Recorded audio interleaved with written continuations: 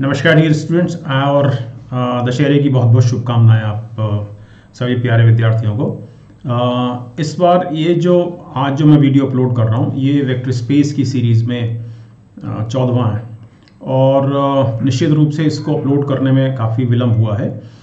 लेकिन जैसा कि आप देखेंगे बाद में वीडियो में, आप इस चीज़ को पाएँगे कि चूँकि ये लीनियर ट्रांसफॉर्मेशन पर है, ये बेसिक लीनियर ट्रांसफॉर्मेशन की बेसिक्स रैंक नलिटी थ्योरम और उसकी जो कॉम्प्लेक्सिटीज़ हैं लीनियर ट्रांसफॉर्मेशन की, उनको बहुत सरल बनाने का प्रयास किया गया है।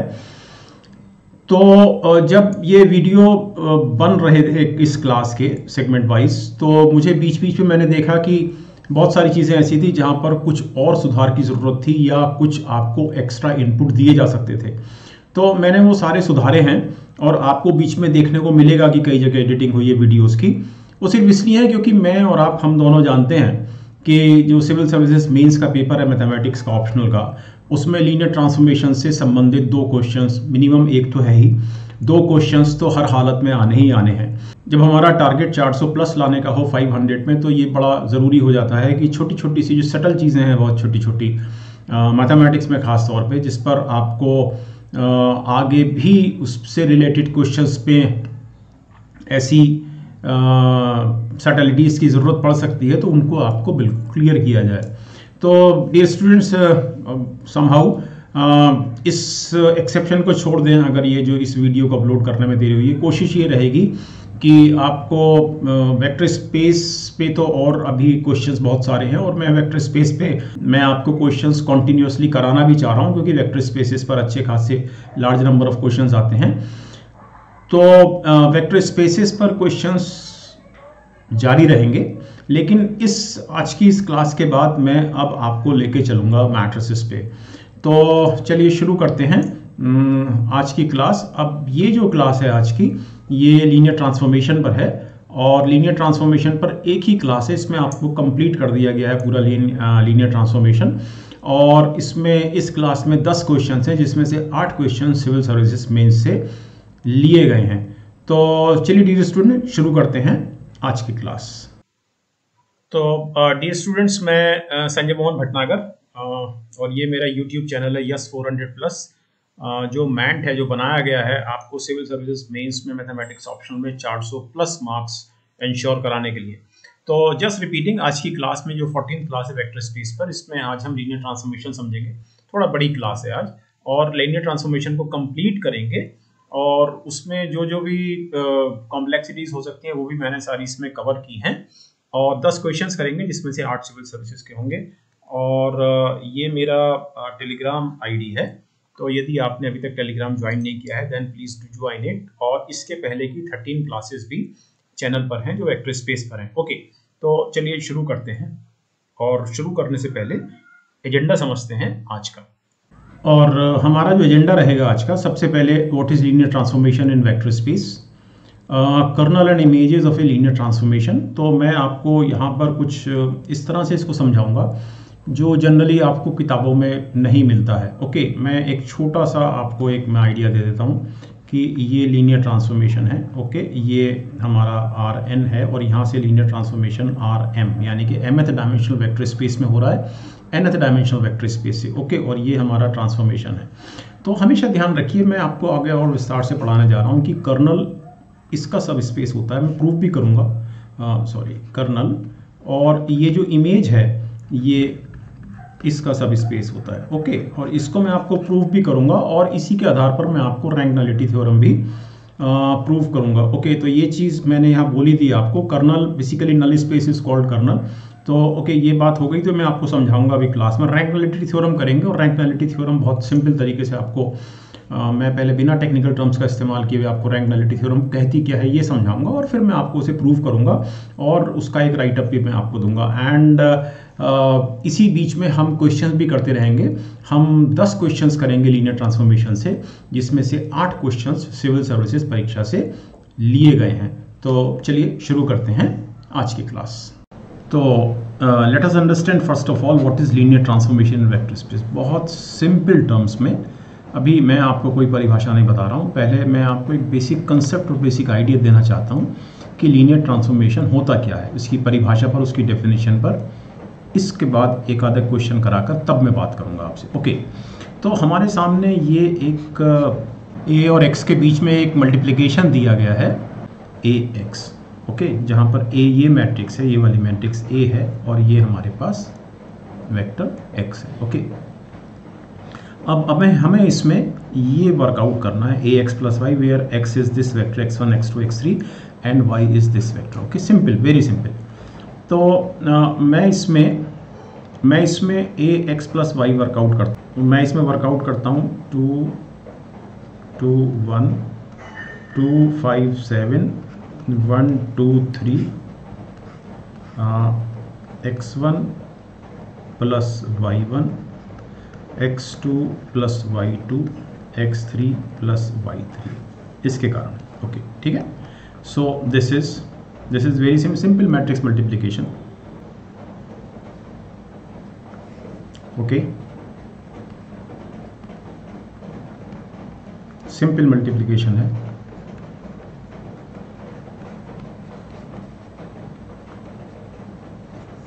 ओके नेक्स्ट रो बनेगी।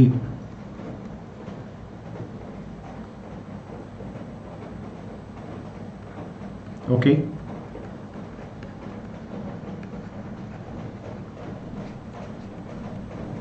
एंड फाइनल रो बनेगी एक्स वन ओके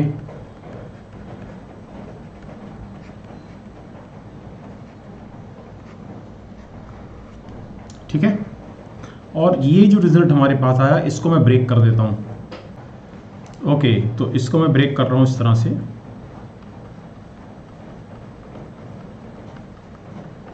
ओके ये मैंने अलग कर लिए एक्स एक्स वन एक्स पहला, पहले कंपोनेंट ठीक है? एक्स वाले कंपोनेंट्स मैंने अलग कर लिए, जो पहली पोजीशन पर हैं। ओके तो एक ये हो गया एंड ऑब्वियसली दूसरा कंपोनेंट इसका हुआ, दूसरी okay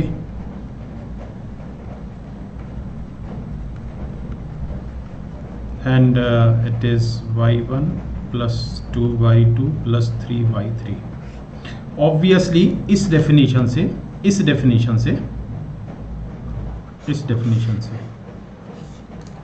We have this is a x plus a y तो हमने इस गिवन मैट्रिक्स में, यानी कि यानी कि जो हमारे पास ये वाली जो मैट्रिक्स थी, इसके रेफरेंस में हमने प्रूव किया है a x plus y equal to a x plus y a x plus a y okay the point is clear एक चीज़ तो हमने ये प्रूव की है। ठीक है? और एक दूसरी चीज़ मैं आपको और, एक दूसरा एक दूसरा रिलेशन मैं आपको और प्रूव करने जा रहा हूँ। तो एक रिलेशन हमने ये प्रूव किया है और एक दूसरा रिलेशन मैं और प्रूव करता हूँ इसी मैट्रिक्स के साथ। और ऑब्वियसली अगर इसी मैट्रिक्स के साथ तो फिर किसी भी मैट्रिक्स के साथ ओके तो दूसरा रिलेशन देखते हैं। इसमें मैंने वेक्टर को सी से मल्टीप्लाई कर दिया, जहाँ पर सी एक स्केलर है नॉन ज़ीरो स्केलर है। तो मुझे इसकी वैल्यू निकालनी है so it's it is two c x one plus two c x two plus c x three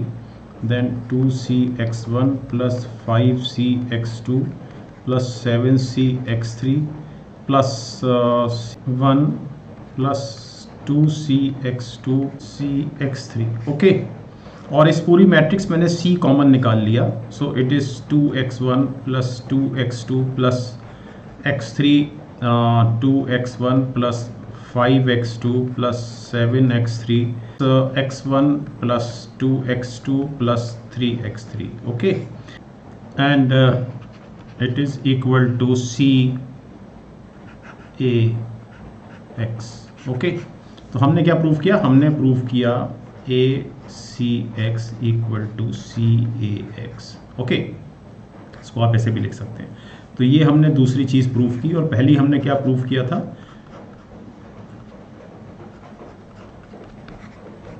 okay ये हमने पहला प्रूफ किया था, जहाँ पर एक कोई भी मैट्रिक्स है और किसी भी ऑर्डर की मैट्रिक्स है ओके और एक्स जो है या वाई वो कंपैटिबल एक्स और वाई दोनों कंपैटिबल डायमेंशंस के वेक्टर्स हैं ओके और ऑब्वियसली एक्स और वाई सेम डायमेंशन के वेक्टर्स हैं, क्योंकि हम उनको सम कर रहे हैं, ठीक है? तो अब ये आपको ये रिलेशन याद रखने हैं दो तो इस पर मैं भी आपसे थोड़ा सा और बात करूँगा। पहले मैं आपको एक न्यूमेरिकल क्वेश्चन और कराता हूँ ओके ओके अब लीनियर ट्रांसफॉर्मेशन को कुछ और समझते हैं और पहले मैं आपको इसको थोड़ा सा ग्राफिकली समझाता हूँ कि लीनियर ट्रांसफॉर्मेशन होता क्या है और फिर हम इसकी फॉर्मल डेफिनेशन पर आएँगे।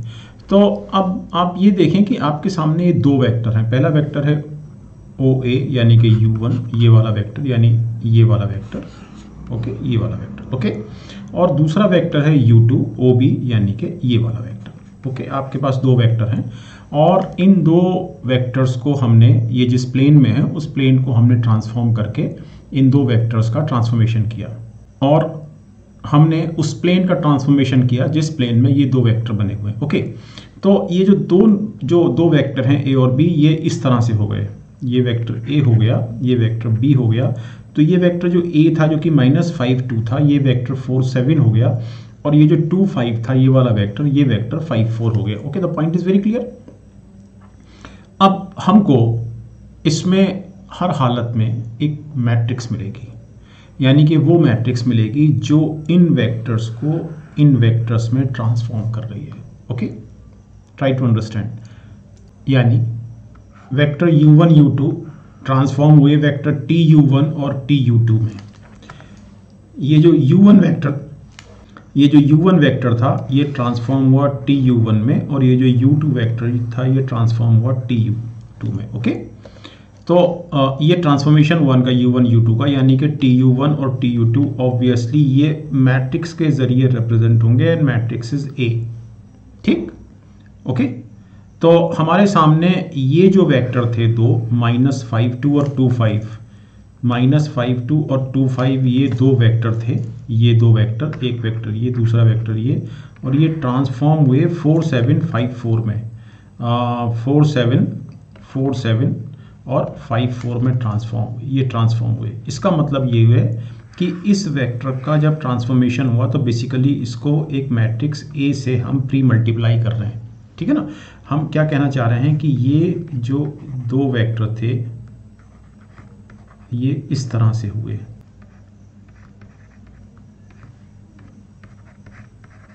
ओके तो ये जो टी है, जो ट्रांसफॉर्मेशन तो ये जो ट्रांसफॉर्मेशन है, ये रिप्रेजेंट हो रहा है एक मैट्रिक्स ए के ज़रिए।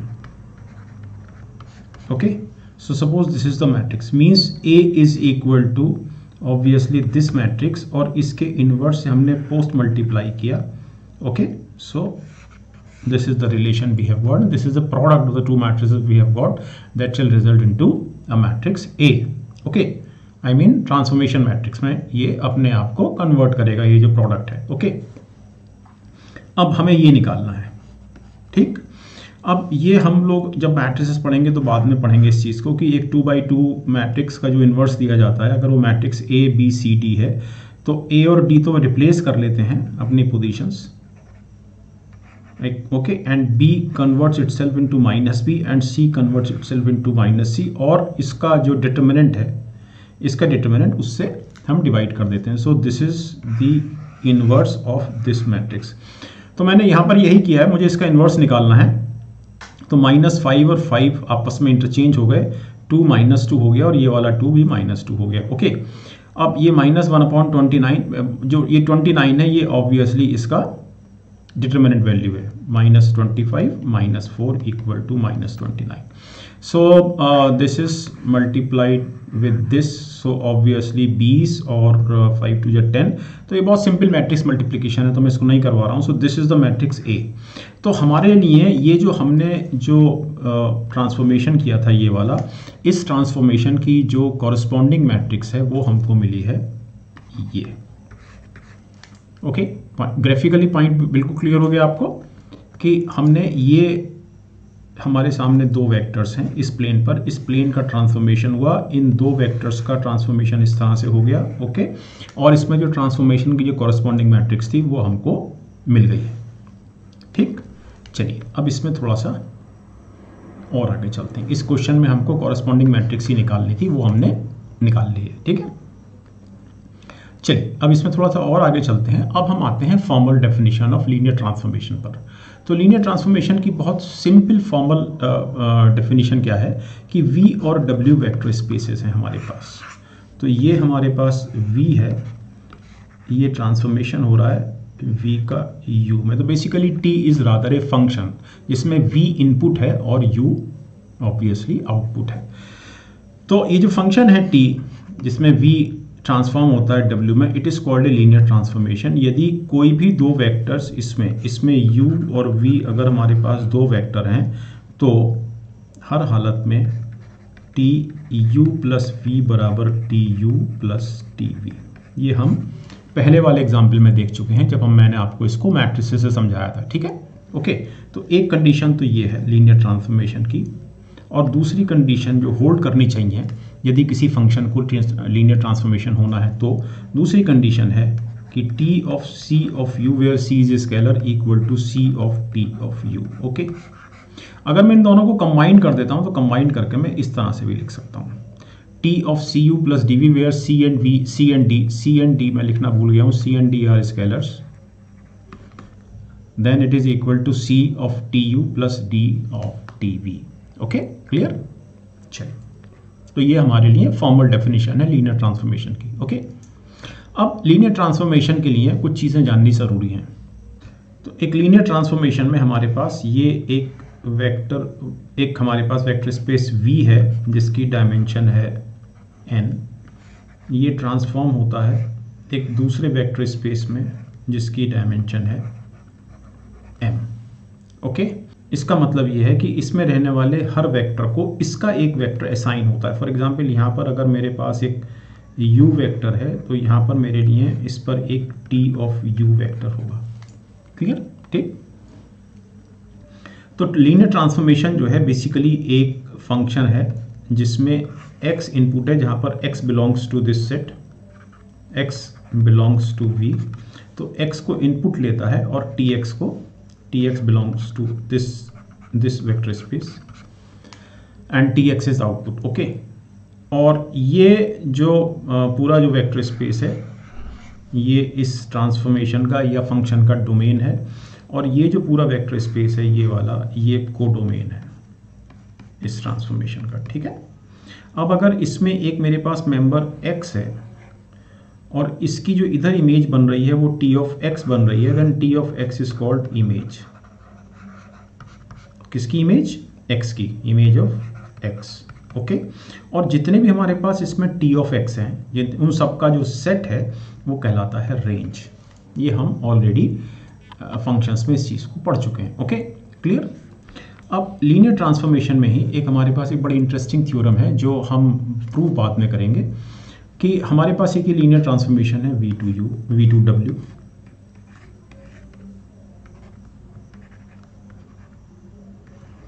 ओके अब इसमें मेरे पास वेक्टर्स हैं v one v two v n and they are linearly dependent तो इनकी जो इमेजेस इधर बनेंगी, यानी कि t v one t v two ये सब हर हालत में लीनियरली डिपेंडेंट होंगी।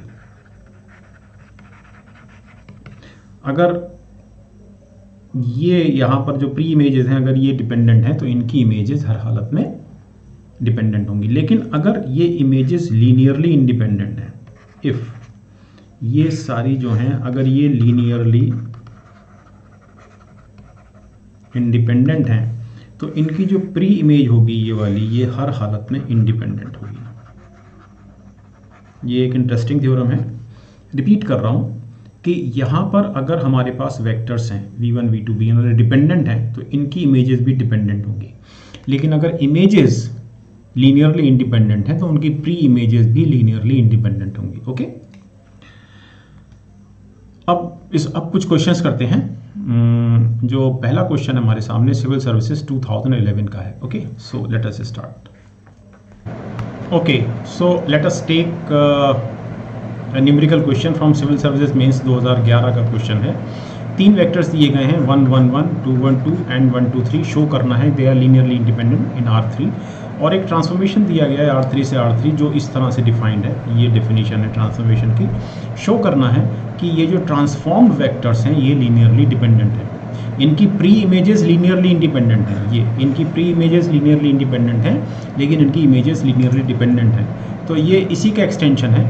ये मैंने भी आपको समझाया था, ये वाली थ्योरम जिसमें ये था कि अगर ये हमारे पास ये वी टू डब्ल्यू अगर एक ट्रांसफॉर्मेशन है।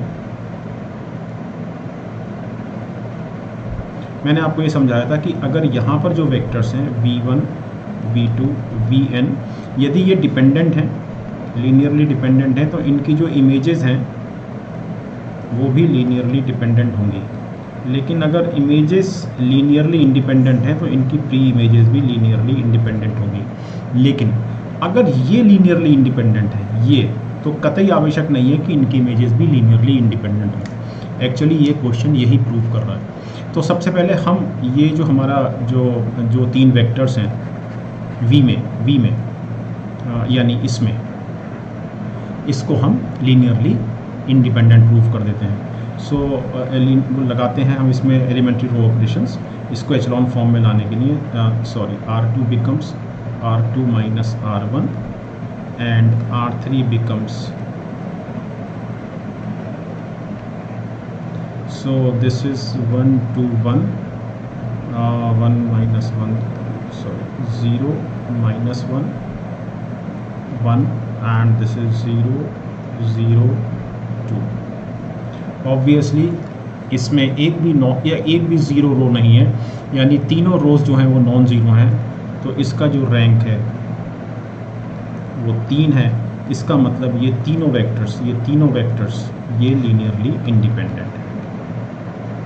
तो ये तो प्रूव हो गया ओके ये तो प्रूव हो गया अब इनकी इमेजेस वर्कआउट करते हैं, ठीक?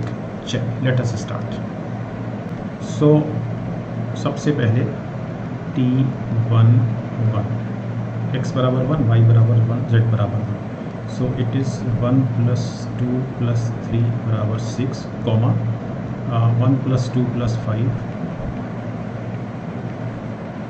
and two plus four plus six equal to twelve okay ठीक इसके बाद T two one two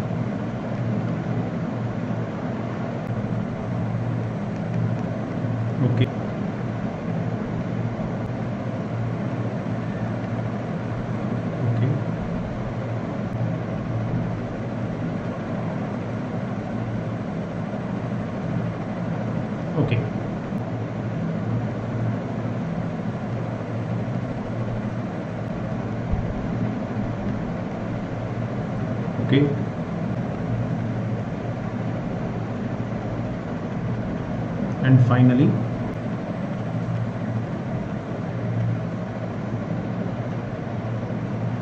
So now let us check for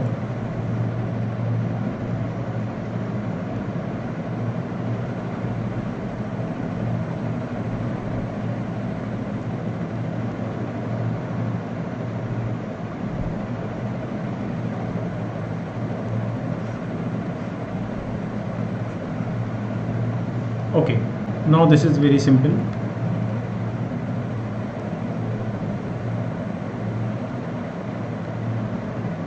and this is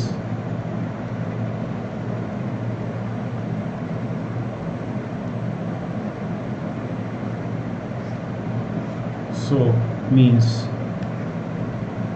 rank is equal to 2 इसका मतलब ये है कि इसमें लीनियरली इंडिपेंडेंट दो वेक्टर हैं तीनों वेक्टर लीनियरली इंडिपेंडेंट नहीं है। इसका मतलब इसकी जो तीन वेक्टर हमको मिले, ये लीनियरली डिपेंडेंट है ओके क्योंकि रैंक दो आया, इसका दो ही वेक्टर इसमें लीनियरली इंडिपेंडेंट है और तीन वेक्टर लीनियरली डिपेंडेंट है okay the point is very clear so the question is solve simple आसान क्वेश्चन था। लीनियर ट्रांसफॉर्मेशन में जो सबसे इंपॉर्टेंट कंसेप्ट है, वो है कर्नल का। इस पर मैं पुरानी क्लासेस में पहली क्लासेस में भी बात कर चुका हूँ और आज मैं सिर्फ़ रिपीट करूँगा, लेकिन आज मैं एक्सक्लूसिवली लीनियर ट्रांसफॉर्मेशन के रेफरेंस में बात करने जा रहा हूँ। तो ये परिभाषा तो आपके लिए लिखी हुई है। तो मैं आपको समझाता हूँ एक, इस तरीके से कि ये मेरे पास एक वेक्टर स्पेस वी है और ये मेरे पास वेक्टर स्पेस W है और ये मेरे पास ट्रांसफॉर्मेशन है। ठीक है? सिंपल अब just try to understand very simple kernel का कंसेप्ट बहुत सिंपल है। कि ये मेरे पास कुछ वेक्टर्स ऐसे हैं। ये वेक्टर्स रिमेंबर वी में है वी में है ओके और हम ये मानते हैं कि ये आर एन है, ये आर एम है। इसका मतलब ये है कि जो टी जो होगा, ये जो ट्रांसफॉर्मेशन होगा it shall be represented by a matrix of the order of M into N okay तो मेरे पास ये कुछ वेक्टर्स हैं। इनकी इमेज ऑब्वियसली इसमें बनेगी। यहाँ बनेगी इस ट्रांसफॉर्मेशन के तहत। अगर इन सब की इमेज ज़ीरो वेक्टर बनती है,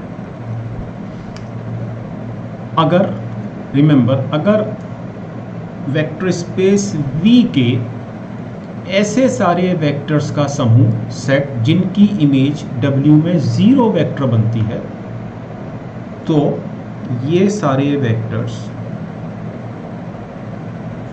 कर्नल कहलाते हैं simple very simple very simple इससे ये भी ज़ाहिर होता है, जो मैं आपको अभी प्रूव करूँगा इसी क्लास में, कि ये जो कर्नल है, ये एक सब स्पेस है वेक्टर स्पेस वी में। सबसेट तो है ही। ऑब्वियसली सबसेट तो है ही ये वेक्टर स्पेस वी का, लेकिन ये सब स्पेस है किसका? वेक्टर स्पेस वी का कर्नल रिमेंबर तो जब हम जब हम एक मैट्रिक्स m गुणा n की बात करते हैं तो ये जो कर्नल होता है it is a subspace of R N R N okay simple तो डेफिनेशन बहुत सिंपल है कि कर्नल को हम के ई आर टी से लिखते हैं। ये सारे ऐसे वेक्टर्स हैं वी में वी में, जो मैप करते हैं ज़ीरो वेक्टर को डब्ल्यू में। ओके इसका मतलब ये है कि कर्नल टी उन सारे वेक्टर्स का समूह है। उन सारे वेक्टर्स का जो वेक्टर्स वी को बिलोंग करते हैं इसको, ऐसे वेक्टर्स जिनकी मैपिंग ज़ीरो, यहाँ ये लगाना रह गया है, ये। ओके सिंपल सिंपल मेरे ख्याल से कर्नल आपको याद रहेगा। तो कर्नल वेक्टर स्पेस वी में, जहाँ पर हमारे पास linear transformation V to W है तो वेक्टर स्पेस वी में ऐसे सारे वेक्टर्स का सेट है। अभी मैं सेट बोल रहा हूँ, सब स्पेस बाद में बाद में प्रूव करूँगा। ऐसे सारे वेक्टर्स का सेट है वी में, जो मैप करता है डब्ल्यू में zero vector okay simple kernel is clear अभी आपको और क्लियर होगा। अब मैं ये जो मैं अभी आपने कर्नल पढ़ा, इसको मैं दूसरी तरह से भी आपको समझाता हूँ, जो पहली क्लासेस में भी हम लोग पढ़ चुके हैं, कि ये जो हमारे पास मैट्रिक्स ए है, जो कि लीनियर ट्रांसफॉर्मेशन का रिप्रेजेंटेशन है रिप्रेजेंटेशन है तो अगर इस मैट्रिक्स के साथ में एक लीनियर होमोजीनियस इक्वेशंस का सिस्टम बनाता हूँ तो इसमें जितने भी सॉल्यूशन मुझे मिलते हैं एक्स के, उन सब का सेट नल स्पेस कहलाता है। ओके ये हम पढ़ चुके हैं ठीक है ना? नल स्पेस कहलाता है ठीक है? ओके और ये जो नल स्पेस है ये भी हम पढ़ चुके हैं ये इस मैट्रिक्स में इसका तो ये इसका सब स्पेस है। अब आर एन क्या है? R N basically vector space V की आ, की डायमेंशन है जहाँ पर डब्ल्यू की डायमेंशन एम है इसलिए ये हम इसको ऐसे लिखेंगे और वेक्टर स्पेस वी की डायमेंशन एन है। तो हम इसको ऐसे लिखेंगे, ठीक है? अब दूसरा जो इंपॉर्टेंट शब्द है लीनियर ट्रांसफॉर्मेशन में, वो है इमेज तो ये हमारे पास एक लीनियर ट्रांसफॉर्मेशन है।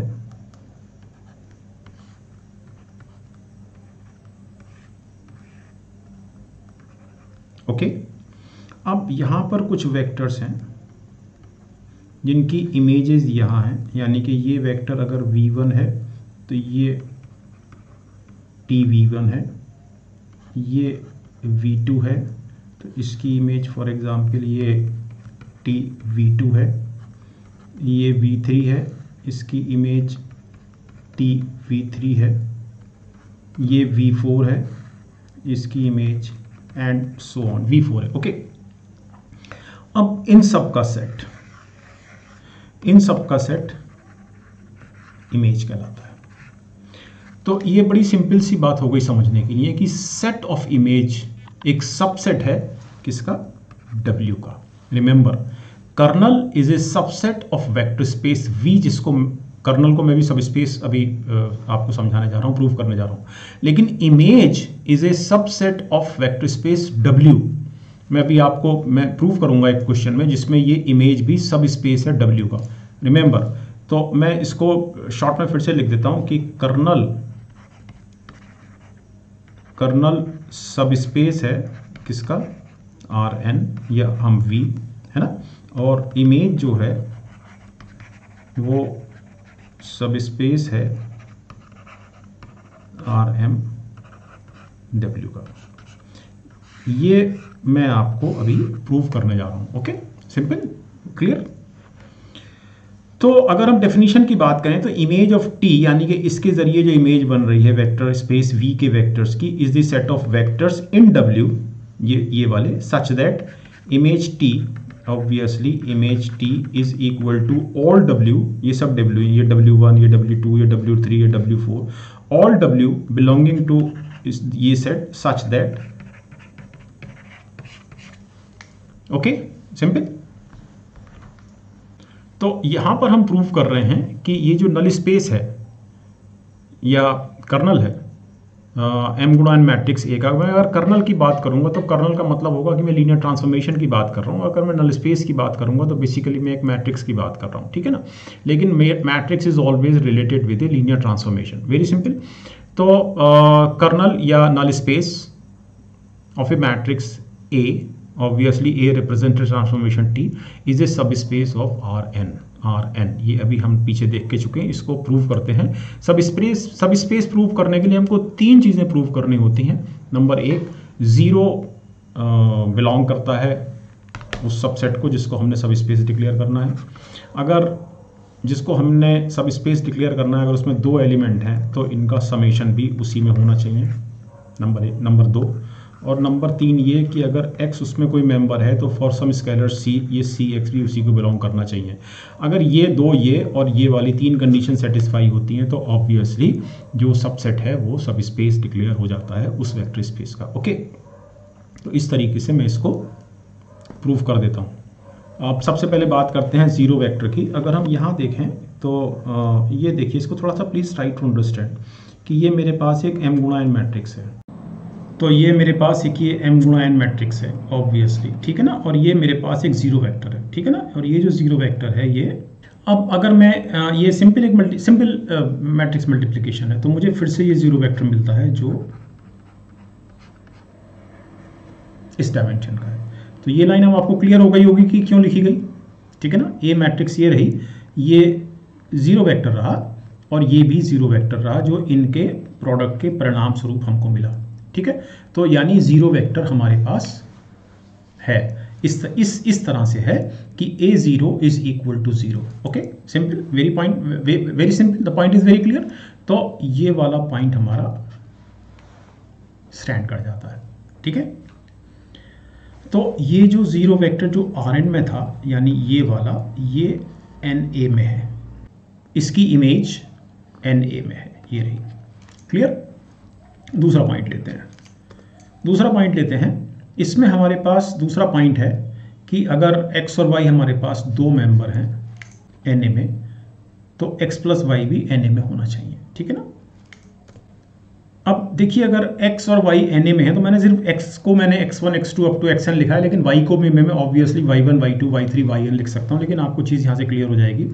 चूँकि ए एक्स बराबर ज़ीरो वैक्टर यहाँ से है ना? इसलिए ए वाई भी ज़ीरो मैं सिर्फ़ X one X two X three X N की जगह Y one Y two Y three and Y N लिखूँगा सिंपल इसका मतलब ये हुआ कि इन दोनों का जो समेशन है, उसका योग भी ज़ीरो आएगा।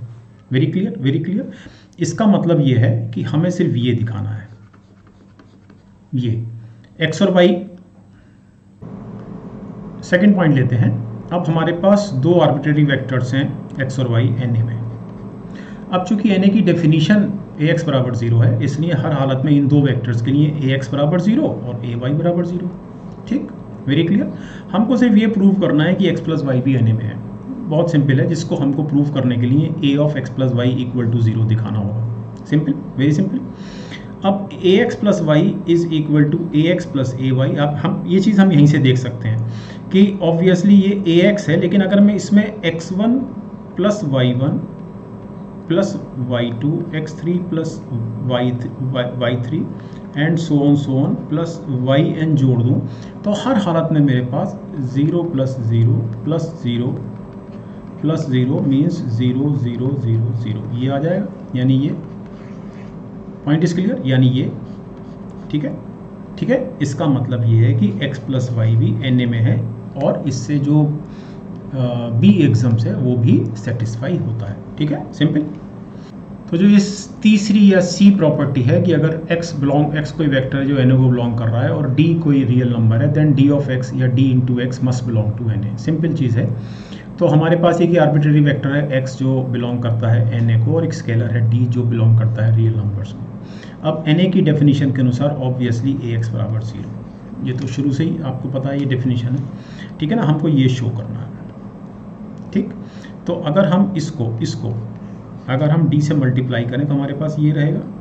लेकिन ये obviously it is equal to zero और इसको मैं हर हालत में ऐसे लिख सकता हूँ। ठीक है ना? ठीक? वेरी सिंपल और ऑब्वियसली इससे दिस इज़ इक्वल टू और इसलिए हर हालत में ये जो डी एक्स है, ये भी एन ए को बिलोंग कर गया। ठीक है ना? क्योंकि डेफिनेशन ये थी, x की जगह डी एक्स आ गया है। इसका मतलब डी एक्स भी एन ए को बिलोंग कर रहा है तो ये सी भी सेटिस्फाई होता है। तो ये तीनों जो प्रॉपर्टीज़ हैं, सब स्पेस की, ये सेटिस्फाई होती हैं और इसलिए ये जो नल स्पेस होता है एन ए ये हर हालत में अगर मैट्रिक्स एम गुणा एन है, जो मैट्रिक्स ए है तो ये आर एन का सब स्पेस होता है, जो मैं आपको शुरू से मैं आपको बता रहा हूँ कि ये हमारे पास आर एन है, ये हमारे पास आर एम है, ये ट्रांसफॉर्मेशन है और ये ट्रांसफॉर्मेशन इस मैट्रिक्स से रिप्रेजेंट होता है। तो जो नल स्पेस होता है, वो इसका सब स्पेस होता है? ये मैंने अभी आपको दो तीन स्लाइड्स पहले बताया। ठीक है? क्लियर चलिए।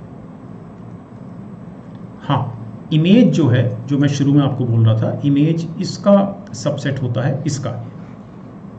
नल स्पेस इसका इमेज सेट इसका, जो मैं अभी आपको थोड़ा देर में प्रूव करूँगा होगा इसी लाइन पर अभी आपके सामने जो लाइन है, ठीक है ना? ओके तो अब अब बात करते हैं थोड़ी सी रैंगनलिटी थ्योरम की। रैंगनलिटी थ्योरम इंपॉर्टेंट है। इसको थोड़ा सा ध्यान से समझ लीजिएगा। और अगर आपको इसको समझने में कोई प्रॉब्लम हो तो आप मुझे हर हालत में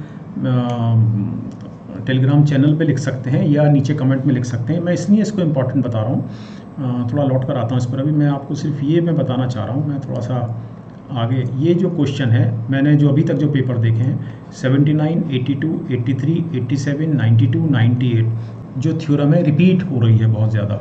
तो इसको आपको अच्छे से समझ लेना चाहिए।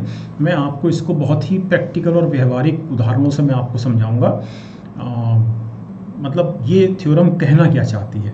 तो पहले इसका आइडिया समझ लेते हैं कि अगर मेरे पास कोई भी मैट्रिक्स है ए मैट्रिक्स है। तो हर हालत में तो मैंने आपको शुरू में बताया था कि एक मैट्रिक्स हर हालत में एक लीनियर ट्रांसफॉर्मेशन को रिप्रेजेंट करती है। कौन सा लीनियर ट्रांसफॉर्मेशन कि अगर मेरे पास एक मैट्रिक्स एम गुणा एन है तो ये एक लीनियर ट्रांसफॉर्मेशन को रिप्रेजेंट कर रही है इस लीनियर ट्रांसफॉर्मेशन को। ये चीज़ आपको हमेशा ध्यान रखनी चाहिए। ओके? अब चूँकि ये एक मैट्रिक्स है एम गुणा एन तो इसमें कॉलम स्पेस भी है। और इसमें नल स्पेस भी है। ये भी आपको क्लियर हो गया, ये हम पिछले 10-12 क्लास से लगातार पढ़ रहे हैं, ठीक है ना? तो किसी भी मैट्रिक्स में कॉलम स्पेस भी होता है और नल स्पेस भी होता है। यदि इसमें भी आप में से किसी को क्लैरिटी नहीं हो तो या तो आप पुराने वीडियो देख लें, या मेरे को मैसेज कर दें टेलीग्राम चैनल पे या व्हाट्सएप ग्रुप में तो आपको मैं फिर से किसी नेक्स्ट क्लास में दो तीन मिनट की चीज़ है मैं फिर से समझा दूँगा। नल स्पेस को हम कर्नल भी बोलते हैं। सिंपल ओके अब अगर कर्नल की जो डायमेंशन है, जिसको हम नलिटी बोलते हैं, इसको भी हम पिछली कुछ क्लासेस में बात कर चुके हैं, जिसको हम नलिटी बोलते हैं, अगर इसकी डायमेंशन आर है तो कॉलम स्पेस की जो डायमेंशन है, हर हालत में एन माइनस आर होगी। ये हम पीछे कुछ क्वेश्चंस में कर चुके हैं, पिछले वीडियोस में। मैं, अगर नहीं ध्यान है तो आप देख सकते हैं, नहीं तो मुझे लिख सकते हैं, मैं रिपीट कर दूँगा। रिपीट कर रहा हूँ मतलब यहाँ पर सिर्फ़ ये वाला पॉइंट कि अगर कर्नल की जो डायमेंशन है, जिसको हम नलिटी बोलते हैं, अगर आर है तो रैंक कॉलम स्पेस का एन माइनस आर होगा। क्लियर ठीक है? यहाँ पर एन क्या है? एन क्या है? ये आपको ज़रूर ध्यान रख लेना चाहिए। N number of total number of columns है। यानी कि ये मैट्रिक्स है जिसमें ये टोटल नंबर ऑफ़ कॉलम्स हैं। इनकी संख्या एन है। इसमें से कुछ कॉलम जो है, मैं पुरानी चीज़ में रिपीट ही कर दे रहा हूँ। कुछ कॉलम जो हैं, वो ऑब्वियसली पाइवट कॉलम्स हैं, जो यहाँ आकर फॉल करेंगे, वो कॉलम स्पेस बनाएँगे। और कुछ कॉलम जो हैं, वो कर्नल के लिए हैं, जो इसका स्पेस क्रिएट करेंगे। तो इन दोनों का जो सम होगा ऑब्वियसली वो एन के बराबर होगा where N is the total number of columns जो मैंने यहाँ पर लिखा है। मेरे ख्याल से पॉइंट क्लियर हो गया ना? इसमें कोई डाउट तो नहीं है? ओके अब नलिटी का मतलब क्या होता है कि ये वाले जो दो कॉलम हैं, जब मैं इस इस पूरी मैट्रिक्स को मैं कुछ इस तरह से लिखता हूँ, इस तरह से जब मैं लिखता हूँ, और फिर मुझे जो सोल्यूशन मिलता है सोल्यूशन जो मिलता है जो कि नॉन ज़ीरो होता है। ज़ीरो सोल्यूशन तो मिलेगा ही मिलेगा, लेकिन जो मुझे नॉन ज़ीरो सोल्यूशंस मिलते हैं, वो सोल्यूशंस मेरे को नल स्पेस क्रिएट करते हैं, और ऐसे सारे वेरिएबल्स जो मुझे नॉन ज़ीरो मिल जाते हैं, उन सबको मैं फ्री वेरिएबल्स कहलाता हूँ, कहता हूँ, और उन फ्री वेरिएबल्स की संख्या मुझे नलिटी या नल स्पेस की जानकारी देती है। मैं रिपीट कर देता हूँ अपनी बात को कि मेरे पास ये ए गुणा एन एम गुणा एन सॉरी एक मैट्रिक्स है जिसमें नंबर ऑफ़ कॉलम्स एन है। इसमें से ये जो वाले जो कॉलम है, ये कॉलम नलिटी के हैं। यानी जब मैं ए एक्स बराबर ज़ीरो रखूँगा, ये पूरी मैट्रिक्स ए है तो मुझे इसमें से मुझे कुछ वेरिएबल्स ऐसे मिलेंगे जो नॉन ज़ीरो होंगे। नॉन ज़ीरो वेरिएबल्स की संख्या मेरे को नलिटी देगी। सिंपल ओके वेरी क्लियर ठीक। अब इसको और आगे थोड़ा सा समझ लेते हैं कि मैं ये आपको बता ही चुका हूँ कि कोई भी लीनियर ट्रांसफॉर्मेशन जो R N to R M है R N to R M है, ये एक मैट्रिक्स से रिप्रेजेंट होता है जो एम एन है। ठीक है वेरी सिंपल तो मोर और लेस ये वही बात कही गई है जो पिछली स्लाइड में थी। यही कही गई, लेकिन इसमें एक लाइन जोड़ी गई है। और वो लाइन क्या जोड़ी गई है? द इमेज ये ये दो लाइनें वही हैं जो पीछे कही गई थी। The image of A is precisely the column space मैंने जो आपके सामने अभी पीछे ये कॉलम स्पेस बनाए थे कॉलम बनाए थे, मैंने कहा था कि फॉर एग्ज़ाम्पल ये जो कॉलम है, ये आपके फ्री वेरिएबल वाले कॉलम है, या फ्री कॉलम्स है, या आपके पाइवट कॉलम्स हैं। तो बेसिकली जो कॉलम स्पेस है, वो इनसे बन रहा है, इनसे। ठीक है ना? और इसी से आपकी इमेज ऑफ़ ए बन रही है। तो image of A is precisely the column space of A please remember इसको आने वाले क्वेश्चन में मैं कुछ अप्लाई करूँगा तो आपको ज़्यादा क्लियर होगा। ज़्यादा क्लियर होगा। तो ये जो इमेज ऑफ़ ए है फॉर एग्ज़ाम्पल फॉर एग्ज़ाम्पल मेरे पास फॉर एग्ज़ाम्पल आप इसको ऐसे समझिए कि ये आर एन है। ये आर एम है। ये कुछ वेक्टर्स ऐसे हैं जिनकी इमेज ज़ीरो वेक्टर है ना? तो ये वाले जो वेक्टर हैं, ये तीन, ये ऑब्वियसली ये नल स्पेस का हिस्सा है। लेकिन इसके अलावा जो बचते हैं, जिनकी इमेज नॉन ज़ीरो है नॉन ज़ीरो जिनकी इमेज नॉन ज़ीरो है, वो सब कॉलम स्पेस का हिस्सा बनते हैं। तो image of A is precisely the column space of A अगर हम इमेज की बात करें नॉन ज़ीरो इमेज की तो वो सब कॉलम स्पेस ए के कॉलम स्पेस का को को जनरेट करते हैं। Okay the point is clear मैं अभी इस पर जब कुछ और क्वेश्चंस लूँगा, तब आपको ये चीज़ें और क्लियर होंगी। लेकिन मेरे ख्याल से चीज़ आपको समझ में आ गई होगी। इसमें हम थोड़ा सा ज़्यादा समय दे रहे हैं, क्योंकि इंपॉर्टेंट थ्योरम है कि ऐसे सारे वेक्टर्स जिनकी इमेज ज़ीरो वेक्टर है point is clear R M में, जिनकी इमेज ज़ीरो वेक्टर है, वो सब नल स्पेस क्रिएट कर रहे हैं। आर एन के वो सारे वेक्टर्स जिनकी इमेज आर एम में ज़ीरो वेक्टर नहीं है, वो सब कॉलम स्पेस जनरेट कर रहे हैं। The point is very clear तो इसीलिए आर एन में जो डायमेंशन है एन उसको हमने दो भाग में बांट दिया है। एक में कॉलम स्पेस की डायमेंशन आ रही है और दूसरे में नल स्पेस की डायमेंशन आ रही है। ठीक? क्लियर ठीक? तो हमको यही प्रूव करना है कि इसकी डायमेंशन प्लस इसकी डायमेंशन इक्वल टू एन ये हमको प्रूव करना है। मेरे ख्याल से the point is very clear ठीक है? जहाँ पर मैट्रिक्स जो है ये लीनियर ट्रांसफॉर्मेशन को रिप्रेजेंट कर रही है। समझ में आ गई बात? कि इसकी डायमेंशन प्लस इसकी डायमेंशन इक्वल टू एन ये हमको प्रूव करना है रैंक नलिटी थ्योरम में। ठीक है? चलिए, आगे चलते ओके अब इस क्वेश्चन को देख लेते हैं। और ये और एक नेक्स्ट क्वेश्चन करने के बाद फिर मैं आपको रैंक नलिटी थ्योरम समझाऊँगा व्हाट इज़ कर्नल तो कर्नल को हम लोग पहले बात कर चुके हैं। तो find the null space and nullity तो जब हम नल स्पेस निकाल लेंगे तो नल स्पेस की जो डायमेंशन होती है, वो नलिटी कहलाती है। Okay okay? तो let us start doing this question obviously एक मैट्रिक्स ए है तो ये हर हालत में एक लीनियर ट्रांसफॉर्मेशन को रिप्रेजेंट करेगी। कौन से लीनियर ट्रांसफॉर्मेशन को? जो मैट्रिक्स हमारे पास, वो चार गुना पाँच है। है ना? तो ये जो मैट्रिक्स है, ये एक इस लीनियर ट्रांसफॉर्मेशन को रिप्रेजेंट करेगी। Please try to understand R five से आर फोर क्लियर इसमें कोई डाउट नहीं? ओके अब जो हम जो नल स्पेस निकालेंगे obviously it shall be a subspace of this domain का सब स्पेस होगा। ये भी हम पीछे करके चुके हैं।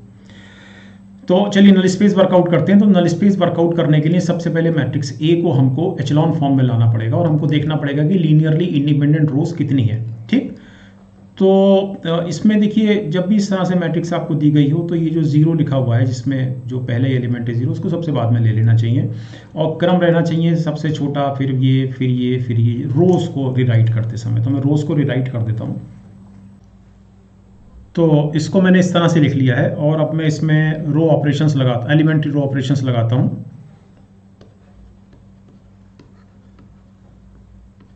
Okay okay.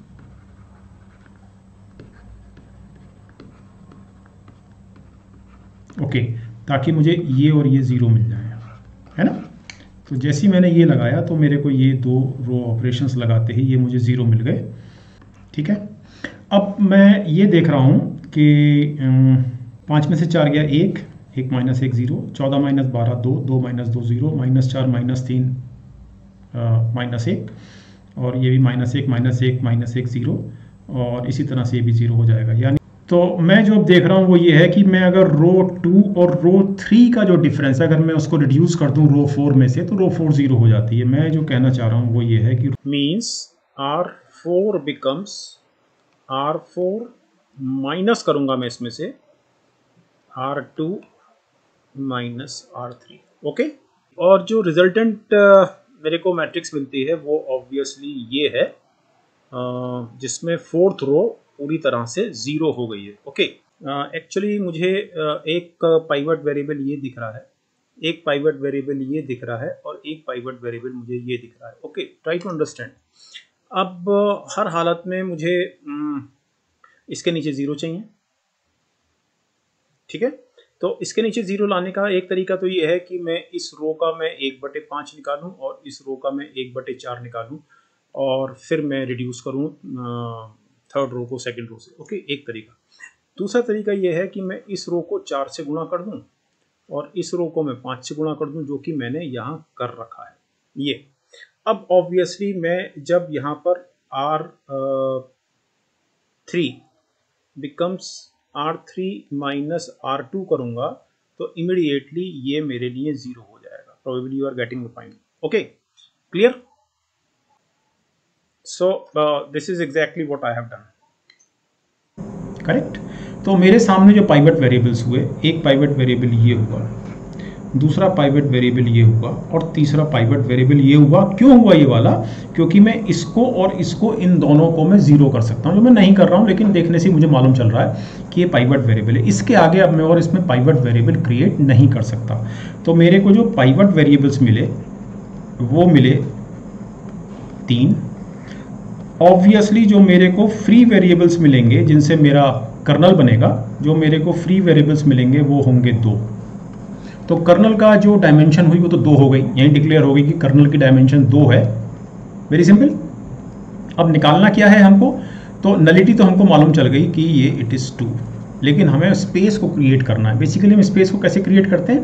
हम ऐसे वेक्टर्स निकाल लेते हैं जो स्पैनिंग वेक्टर्स होते हैं। तो हमको दो लीनियरली इंडिपेंडेंट वेक्टर्स चाहिए नल स्पेस में नल स्पेस में तो जिसको जिसको हम जिसके स्पैनिंग से हम नल स्पेस को क्रिएट कर लेंगे। This is the basic principle ठीक? किस चीज़ का बेसिक प्रिंसिपल नल स्पेस को क्रिएट करने का। और इस तरह के क्वेश्चन मैंने पहले भी आपको कराए हुए हैं। ओके okay, अब एक काम और करते हैं कि ये जो सेकंड रो है ये सेकंड रो इसमें से अब हम आ, चार कॉमन निकाल लेते हैं, क्योंकि हमारा पर्पस पूरा हो गया इसको चार से, इसको चार से और इसको पाँच से गुणा करने का हमारा पर्पस कंप्लीट हो गया। तो अब इस सेकेंड रो में से हम फिर से चार कॉमन निकाल लेते हैं और जब चार हम कॉमन निकालेंगे तो फिर से वही पाँच, चौदह, माइनस चार, माइनस तीन। पाँच चौदह माइनस चार माइनस तीन और बाकी नीचे ज़ीरो चार एक माइनस अट्ठारह तो ज़ीरो चार एक माइनस अट्ठारह okay the point is clear तो हमारा जो जो हमको जो मैट्रिक्स दी गई थी ए वो अल्टीमेटली इस फॉर्म में हमने ले ली है। हम इसको और भी आगे हम यहाँ पर वन भी ला सकते हैं। हम इसको और भी रिड्यूस कर सकते हैं।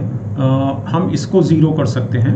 हम इन दोनों को ज़ीरो कर सकते हैं। ये भी कर सकते हैं but it hardly makes any difference okay अब ये बड़ा सिंपल है, क्योंकि अगर मैं यहाँ पर इसको मैं ज़ीरो कर सकता हूँ, इसको ज़ीरो कर सकता हूँ, फिर मैं इन दोनों को ज़ीरो कर सकता हूँ तो ऑब्वियसली एक पाइवट वेरिएबल मेरे पास यहाँ से बनेगा, यहाँ से बनेगा, यहाँ से बनेगा। तो मेरे पास जो पाइवट कॉलम है, वो तीन है।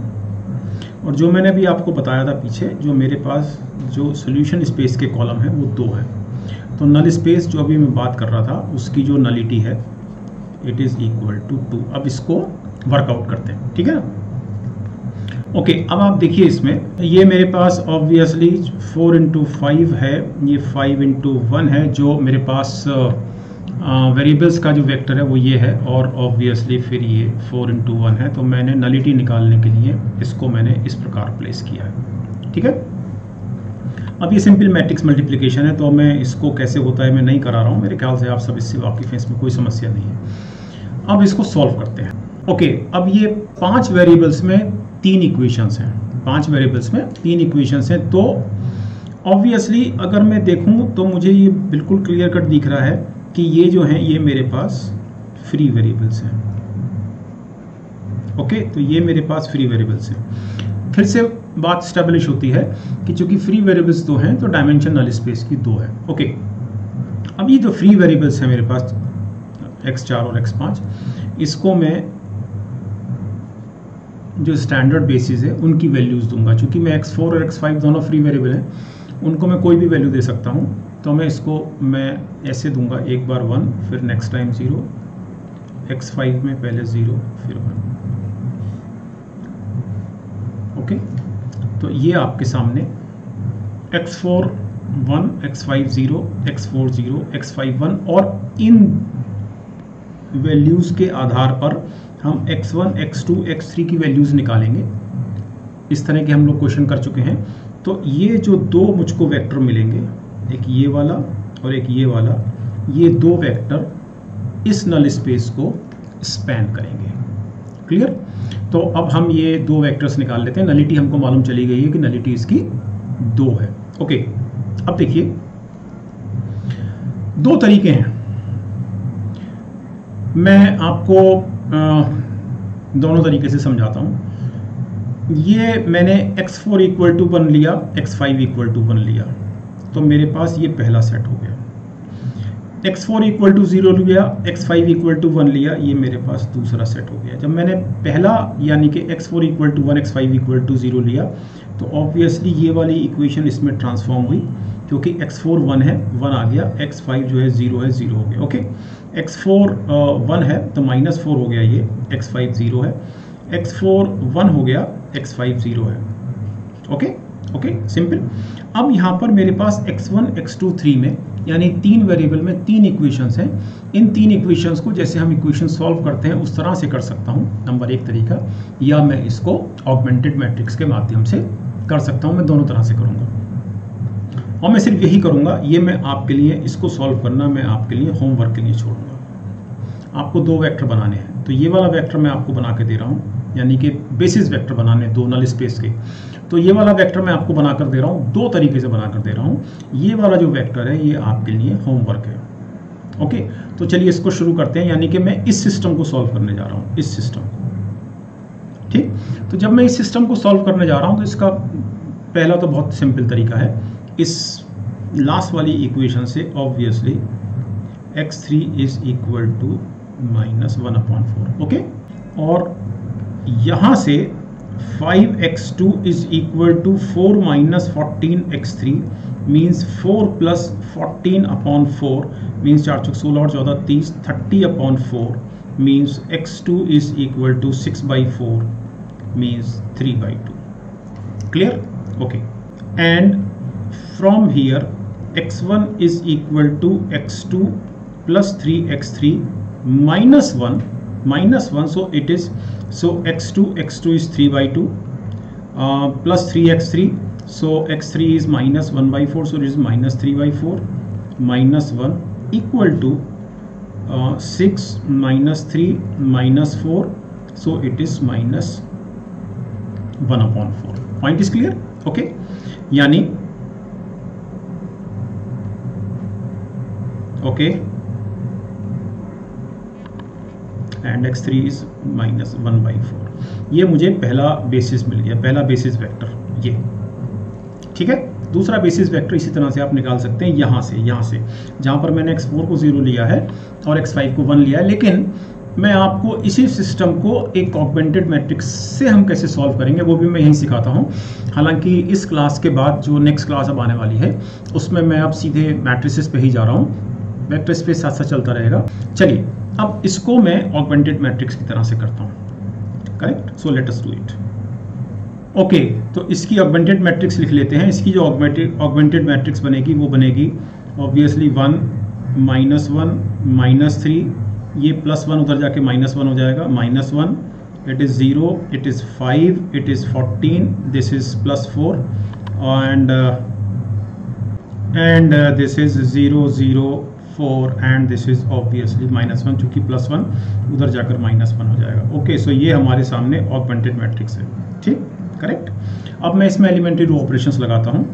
ओके तो सबसे पहले R three becomes R three R three upon four so it is immediately one minus one थोड़ा बाहर शोर है आज, है ना? Please bear with me okay क्योंकि आजकल नवरात्रे चल रहे हैं तो please bear with me है ना? So okay so it is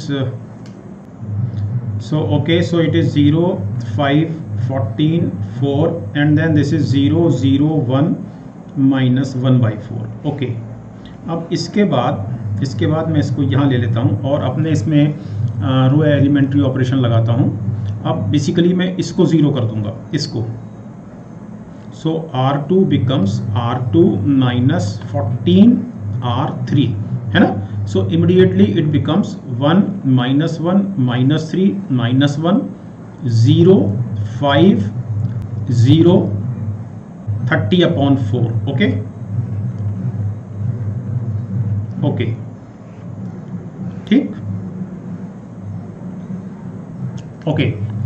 आगे चलते हैं एक काम और कर देता हूँ कि मैं इसमें इसको वन कर देता हूँ अब चूँकि मुझे इसे वन करना है। तो इसके लिए मैं R2 becomes 1 upon 5 R2 so this results in uh, 1 minus 1 minus 3 minus 1 0 1 0 पाँच निकल गया so it is three by two है ना? And zero zero one minus one by four okay simple okay एक स्टेप और रह गया है उसको भी कंप्लीट कर लेते हैं। तो अगर आप यहाँ पर भी देखें तो ये आपको z equal to sorry x three equal to minus one by four मिल रहा है। X two equal to three by two मिल रहा है। ये वाला। अब मुझे सिर्फ़ इसको और इसको ज़ीरो करना है। ओके okay, है ना? सिंपल सो चलिए लेट्स डू इट ओके अब ये मुझे रिज़ल्ट पिछली इस स्लाइड पर मिला था। ये वाला रिज़ल्ट ओके okay, है ना? अब मुझे यहाँ पर दो रो एलिमेंट्री ऑपरेशन लगाने हैं क्योंकि मुझे इसको ज़ीरो करना है इसको। तो सबसे पहले पहला जो रो एलिमेंट्री ऑपरेशन है, वो है R one R one becomes R one plus R two so it immediately it is one zero minus three and it is half and it is zero one zero three by two zero zero one minus one by four okay और एक मुझे और लगाना है, और अब इस बार मैं इसको ज़ीरो करूँगा. So R one becomes R one plus three R three है ना? So it is one zero zero and it is minus one by four and अब कंप्लीट हो गया question okay and this is zero zero one correct so, from here from here, I have x1 equal to minus एक बटे चार x2 equal to 3 by 2 and x3 equal to minus एक बटे चार, जो कि यही वैल्यूज़ हैं। आप किसी भी तरीके से इन system of three linear equations को सॉल्व कर सकते हैं। मैंने दोनों तरह से आपके सामने किया है। ओके तो ये हमको एक बेसिस ये मिल गई है। ये आपको होमवर्क के लिए। दी गई है ठीक? ओके तो मेरे ख्याल से the point is clear okay चलिए, आगे चलें। तो ये वाला क्वेश्चन हमारा कंप्लीट हो गया। व्हाट इज़ कर्नल आप पहले ही पढ़ चुके हैं और ये मैंने अभी आपको निकाल के दिखाया। ठीक है? दो तरीके से। दो तरीके। अब देखिए, ये क्वेश्चन देखते हैं। तो इस क्वेश्चन से आपको थोड़ा सा अंदाज़ा लगेगा रैंकनलिटी थ्योरम का। एक्चुअली थ्योरम पे जाने से पहले मैं आपको दो क्वेश्चन कराना चाह रहा हूँ। तो एक आपने अभी देखा और दूसरा क्वेश्चन ये है। Find a basis and dimension of image U of F kernel W of F where F is linear transformation from R four to R three और डिफाइन इस तरह से किया गया है। ठीक? तो यानी कि आप इसको ऐसे समझ लें कि ये आर फोर है, ये आर थ्री है और ये मैपिंग है हमारे पास एफ़ ओके और इसमें हमको जो मैट्रिक्स एफ़ बनेगी, ये मैट्रिक्स बनेगी हमारी ऑब्वियसली तीन गुणा चार, ठीक है ना? आर ये एम ये ये एम है, ये एन है तो जो मैट्रिक्स बनेगी, ये बनेगी तीन गुणा चार। पॉइंट इज़ क्लियर ठीक है? अब इस मैट्रिक्स में तीन गुणा चार मैट्रिक्स के दो हिस्से होंगे।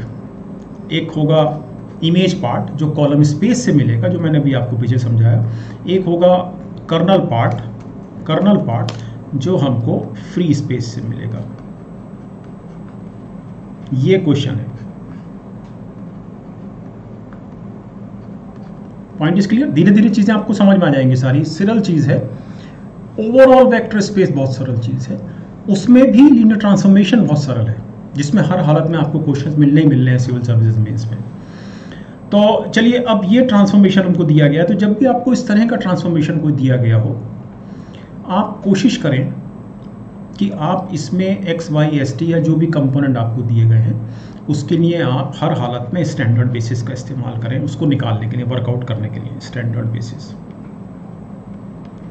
तो फोर्थ डायमेंशनल स्पेस में जो स्टैंडर्ड बेसिस हैं, वो हैं one zero zero zero zero one zero zero zero zero zero one and one sorry zero zero zero कुछ गलत लिख गया क्या? ओ सॉरी यहाँ पर वन आएगा, यहाँ ज़ीरो आएगा। ये ऐसा वेरी क्लियर सो इसका जो ट्रांसफॉर्मेशन हुआ, इस वाले का, यानी कि ऐसे का लिख देता हूँ मैं। ये हुआ one minus zero plus zero plus zero one plus zero minus zero ये हुआ आपका one plus zero plus zero minus zero. ये हुआ आपका वन वन वन। क्लियर? यहाँ देखते हैं। ये हुआ zero minus one plus zero plus zero. चूँकि वाई दिया गया है इस बार वन, ये वाई तो वाई यहाँ पर है नहीं। मैं इसको क्विकली कर देता हूँ तो ये ज़ीरो हुआ इमीडिएटली यहाँ पर वाई दिया गया है, बाकी सब ज़ीरो है तो वाई वन है तो मैं सीधे इसको वन लिख देता हूँ, है ना? तो ये हुआ माइनस वन, ज़ीरो, वन। इस जगह हुआ, चूँकि यहाँ पर हमको s की वैल्यू वन दे दी गई है तो ये हुआ वन, ऐसे लिख लेते हैं सीधे। यहाँ हुआ टू और ये हुआ थ्री, ये तीसरा हुआ। और जो चौथा हुआ, यहाँ पर टी की वैल्यू वन दी गई है तो ये हुआ वन। बाकी सब ज़ीरो है। ये वन, यहाँ माइनस वन और माइनस थ्री। ठीक है? वेरी क्लियर इसमें कोई डाउट तो नहीं? तो हमको इमेजेस मिल गई। किसकी? स्टैंडर्ड बेसिस की। अब हमें निकालनी है जो हमको जो मैट्रिक्स मिलेगी। ओके तो अब हम एफ़ कैसे निकालते हैं? इसको थोड़ा समझ लीजिए कि हमारे सामने ये वेक्टर है। है ना? करेक्ट तो it is equal to x minus y plus s plus t x plus two s minus t x plus y plus three x minus three t okay इसको मैं हर हालत में मैं ऐसे लिख सकता हूँ just try to understand okay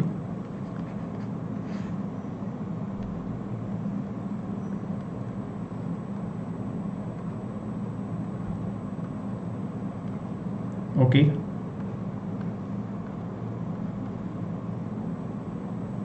correct इसमें कोई डाउट तो नहीं? इस तरह से लिख दिया मैंने।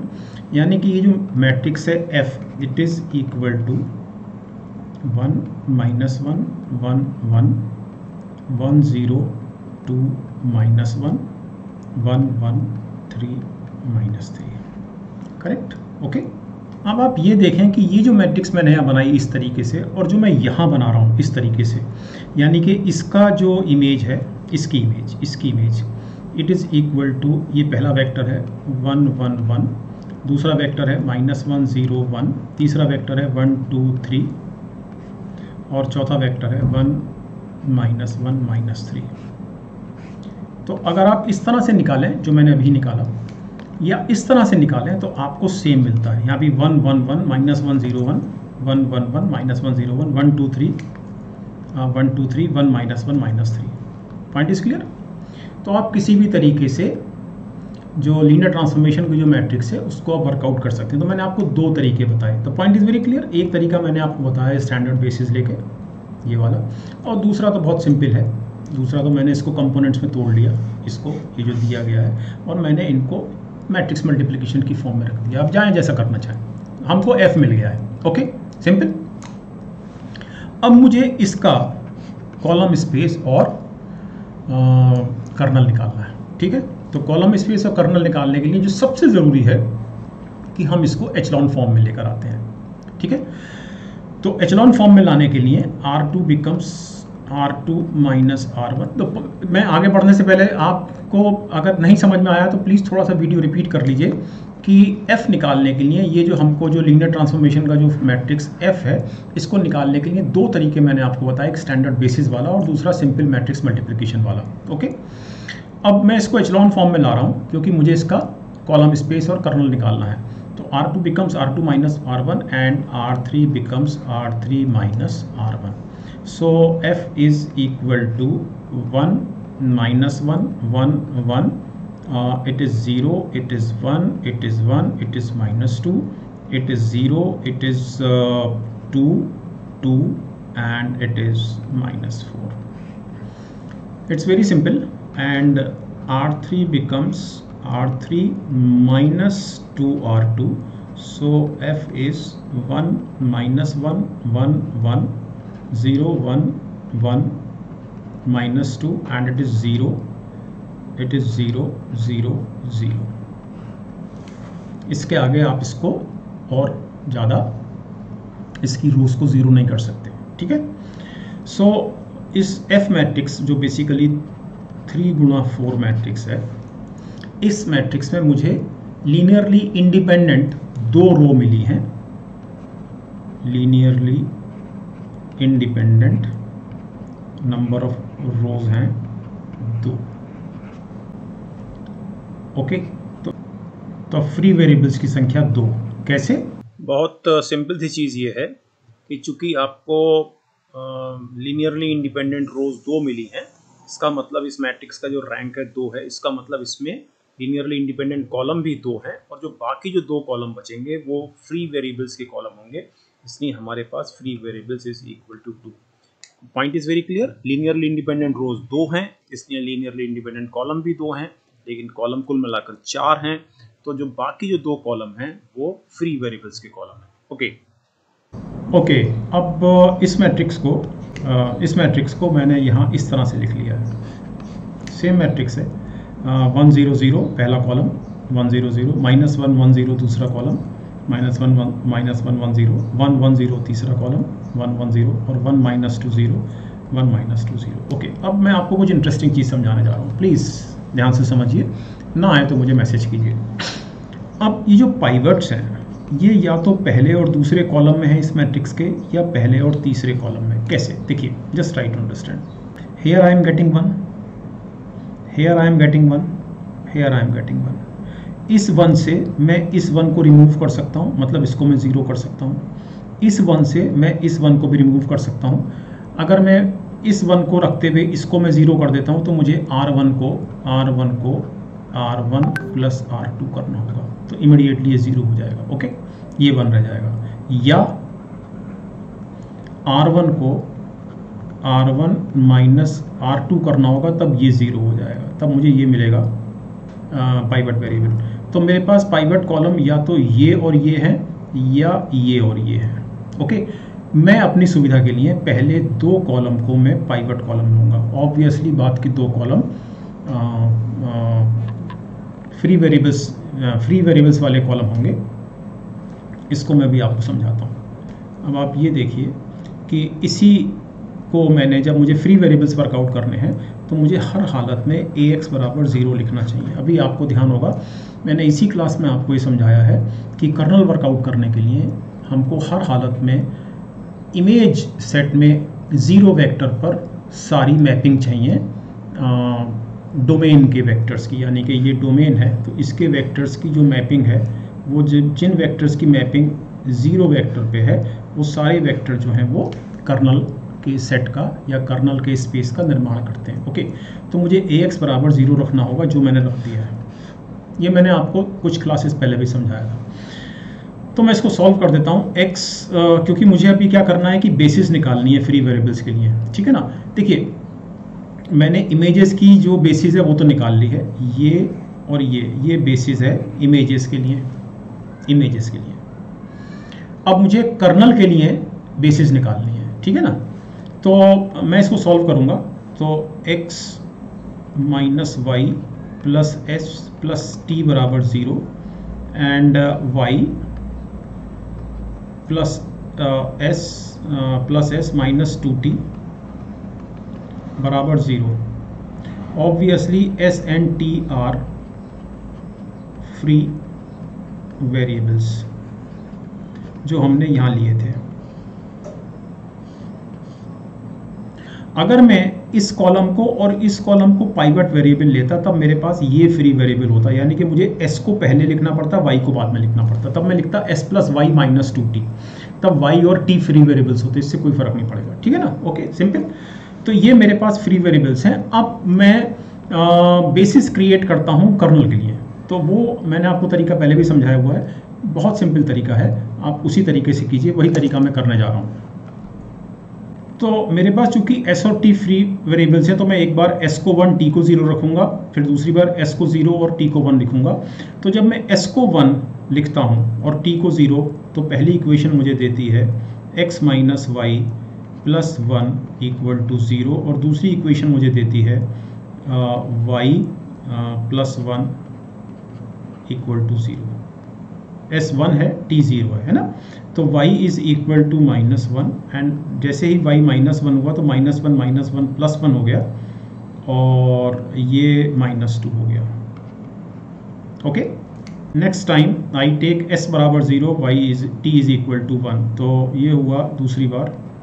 X minus Y S zero plus one equal to zero ये तो पहला हो गया।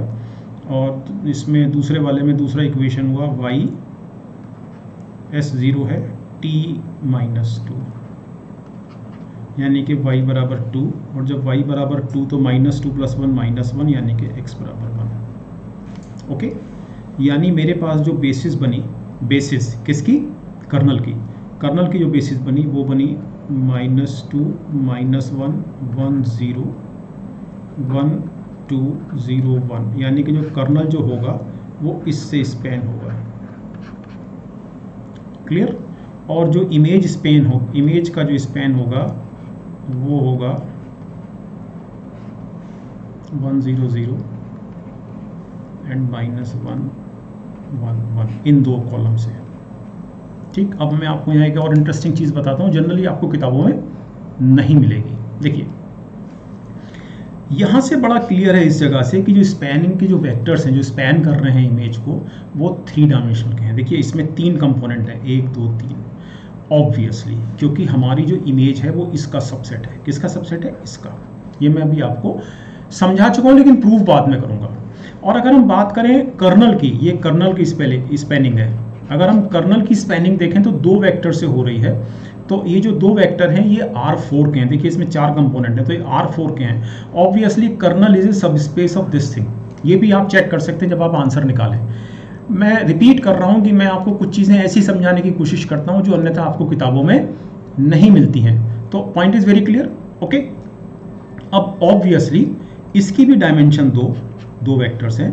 इसकी भी डायमेंशन दो two plus two equal to this four तो रैंक नलिटी थ्योरम भी स्टेब्लिश होती है, जो मैं भी आपको इस क्वेश्चन के बाद, इस क्वेश्चन के बाद मैं आपको एक्सप्लेन करने जा रहा हूँ। तो यहाँ पर भी आपके पास दो वेक्टर हैं जो स्पैन कर रहे हैं इमेज को, और यहाँ पर भी आपके पास दो वेक्टर हैं जो स्पैन कर रहे हैं कर्नल को। Two plus two equal to four and this is four point is clear okay so now we may move to the we may move to explaining the the the theorem. Rank nullity theorem. Okay let us start okay अब जो सबसे important theorem है linear transformation की the rank nullity theorem उसको थोड़ा समझते हैं। और मैं अभी थ्योरम पे या थ्योरम की वर्डिंग्स पे नहीं जा रहा हूँ। मैं सबसे पहले आपको ये समझाना चाहता हूँ कि रैंक नलिटी थ्योरम कहती क्या है। बिना बिना कोई भी आ, उसमें टेक्निकल शब्दों का इस्तेमाल किए हुए। पहले थोड़ा समझ लेते हैं कि बेसिक्स क्या हैं रैंक नलिटी थ्योरम के। ओके देखिए लीनियर ट्रांसफॉर्मेशन अगर वो आर एन से आर एम है, यानी कि ये मेरे पास एक ही स्पेस है जो एन डायमेंशन का है और ये मेरे पास स्पेस है जो एम डायमेंशन का है और ये मेरे पास ट्रांसफॉर्मेशन है। ये ट्रांसफॉर्मेशन हर हालत में एक मैट्रिक्स ए से रिप्रेजेंट होता है है ना? तो ये लीनियर ट्रांसफॉर्मेशन इस मैट्रिक्स से रिप्रेजेंट हो रहा है जो ऑब्वियसली ऑर्डर एम गुणा एन की है। जहाँ पर जो एन है वो डायमेंशन है डोमेन की और जो एम है वो डायमेंशन है रेंज की। ये हम पहले कर चुके हैं। अब ये जो मैट्रिक्स बनी है, यानी कि ये वाली जो मैट्रिक्स बनी है, ये वाली, ये ये एम गुणा एन ऑर्डर की है। इसमें दो स्पेस समाहित है। दिस कंटेन्स टू स्पेसेस लेकिन आगे बढ़ने से पहले ये ज़रूर ध्यान रखें कि इस मैट्रिक्स को एचलॉन फॉर्म में ले लिया गया हो।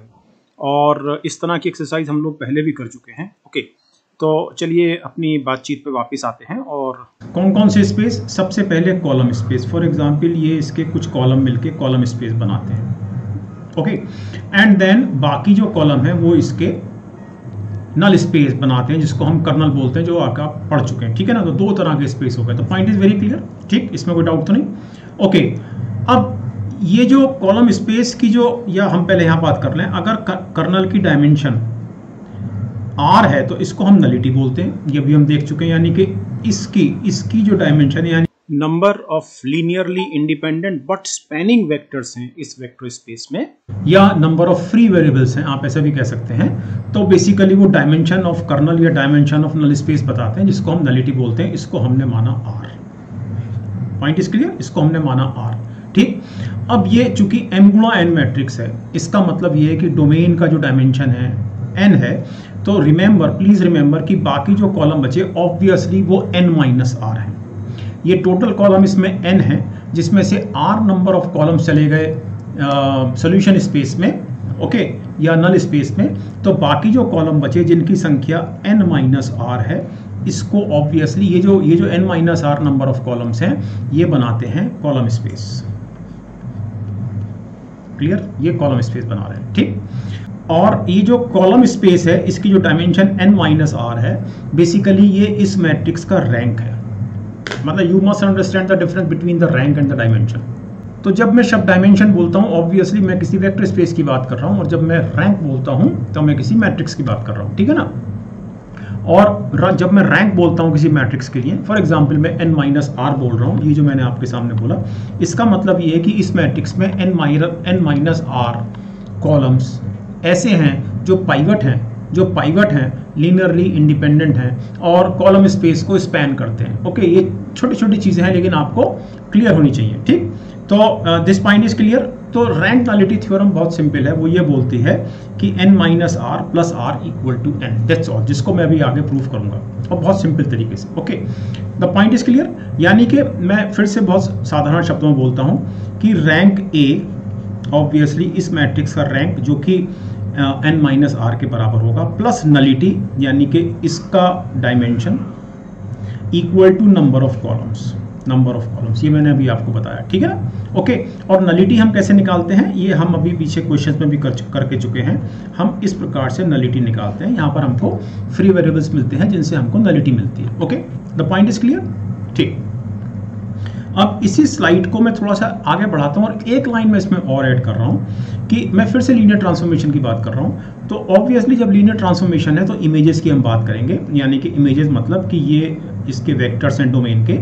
ये हमारा आर एन है और ये हमारा रेंज है। ठीक है ना? तो इसकी इमेज यहाँ बनी, इसकी इमेज यहाँ बनी, इसकी इमेज यहाँ बनी, इसकी इमेज यहाँ बनी and so on so on so on ठीक है ना? तो ये जो इमेज सेट है बेसिकली ये वाला जो इमेज सेट है, ये प्रिसाइजली कॉलम स्पेस है ए का। ए का कॉलम स्पेस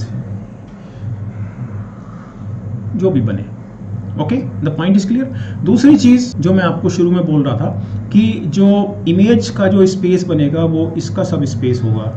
और जो कर्नल का जो सब स्पेस बनेगा या नल स्पेस जो बनेगा, वो इसका सब स्पेस होगा। ओके ठीक? चलिए, अब आपको थोड़ा सा यहाँ पर हो सकता है आप ये सोच रहे हो कि image of A is precisely the column space of A का मतलब क्या है? तो जिस तरह से nullity A X equal to Y इस इक्वेशन से निकलती है, हम जब रैंक की बात करते हैं या number of pivot columns of matrix A की बात करते हैं तो वो इस इक्वेशन से निकलती है A X equal to B okay remember तो मैं आपको थोड़ा समझा देता हूँ कि कैसे कि ये एक्चुअली ये मैंने इसको इस तरह से लिख लिया। और थोड़ा सा इसलिए भी आपको यहाँ समझा रहा हूँ कि इसका बहुत एप्लीकेशन बहुत जल्दी मैट्रिसेस में होने वाला है, जब हम सिस्टम ऑफ़ लीनियर इक्वेशंस को सॉल्व करेंगे। ओके अब ये हमारे पास मैट्रिक्स ए है, ये वेक्टर एक्स है और ये वेक्टर बी है। Okay the point is clear अब मैं कह रहा हूँ कि ये जो सिस्टम है, ये वाला जो आप सिस्टम देख रहे हैं, ये वाला this is solvable if and only if the vector B lies in the column space of A यानी ये वाला जो वेक्टर है, ये जो कॉलम वेक्टर्स हैं, इनके स्पेस में अगर ये वेक्टर लाई करता है, तब इस सिस्टम ऑफ़ लीनियर इक्वेशंस का सोल्यूशन हमको मिलता है। ओके थोड़ा सा समझ लेते हैं कैसे। बड़ी सिंपल सी बात ये है कि ये जो B1 है बेसिकली ये लीनियर कॉम्बिनेशन है, इस तरह से। देखिए A one one X one A one two X two and so on so on A one N okay और N equal to B one point is clear तो ये वाला जो वेक्टर है, ये इन सब का जो, ये जो X one X two up to X N है, इनका एक लीनियर कॉम्बिनेशन है। Okay this point is very clear simple और यहाँ से आपको ये बात भी क्लियर होती है कि ये वाला जो वेक्टर जो आपने, ये जो बी वन वैक्टर है, ये वाला ऑब्वियसली ये रेंज में है। ऑब्वियसली क्यों? क्योंकि ये इनके लीनियर कॉम्बिनेशन से बना है तो बेसिकली इसका ये मैप्ड वेक्टर है। ओके पॉइंट इज़ क्लियर अब हम ये जान रहे हैं कि ये वाले जो कॉलम है, ये पाइवट कॉलम्स हैं। इसका मतलब बाकी जो कॉलम्स हैं अच्छा ये चूँकि पाइवट कॉलम्स हैं, इसलिए लीनियरली इंडिपेंडेंट है। इसका मतलब बाकी जो कॉलम ये जो बाकी जो कॉलम बचे, ये सब डिपेंडेंट हैं और ये सब इसके, इनके लीनियर कॉम्बिनेशन के रूप में लिखे जा सकते हैं। इसीलिए इन कॉलम्स के ज़रिए हमको फ्री वेरिएबल्स मिल रहे हैं। This point is very clear इसका मतलब ये हुआ कि ये जो वेक्टर b1 है ये वाला वेक्टर b1 ऑब्वियसली चूँकि इस लीनियर कॉम्बिनेशन से बना है तो हर हालत में ये कॉलम स्पेस में ही लाई कर रहा है। अगर लाई नहीं कर रहा होगा तो ऑब्वियसली ये बराबर b1 होगा ही नहीं और हमको इसका सोल्यूशन नहीं मिलेगा। तो पॉइंट इज़ वेरी क्लियर तो मेरे ख्याल से अब आपको समझ में आ गया होगा कि ये जो रैंक है बेसिकली रैंक हमको इस नंबर से मिल रहा है कि नंबर ऑफ़ इंडिपेंडेंट कॉलम्स कितने हैं। So this rank A it is basically number of pivot columns कहाँ पर यूज़ हो रहे हैं?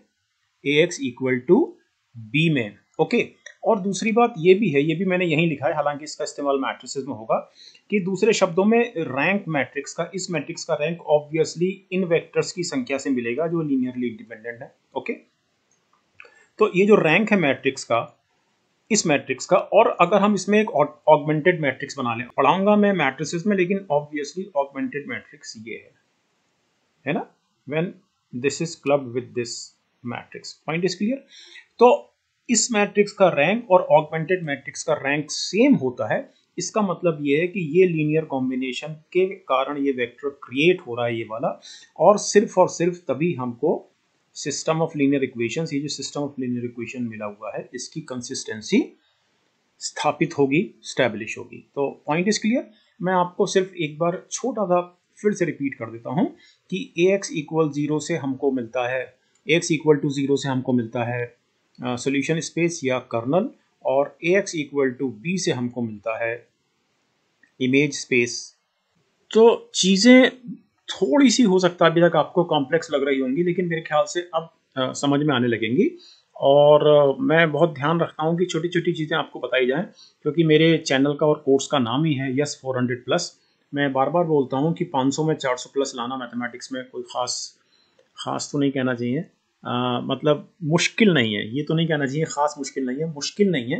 अगर आप छोटी छोटी चीज़ों को याद रखेंगे और ख़ास तौर पे आ, आप कुछ स्ट्रेटेजी बना लेंगे जिस पर मैं बहुत जल्दी किसी आने वाले आ, एक लेक्चर में बात करने जा रहा हूँ कि स्ट्रेटेजी क्या रहे। आ, लेकिन सब स्ट्रेटेजी का सबसे इंपॉर्टेंट पॉइंट ये है कि आपको वेक्टर स्पेस यानी कि लीनियर अलजबरा ओवरऑल की बात कर रहा हूँ।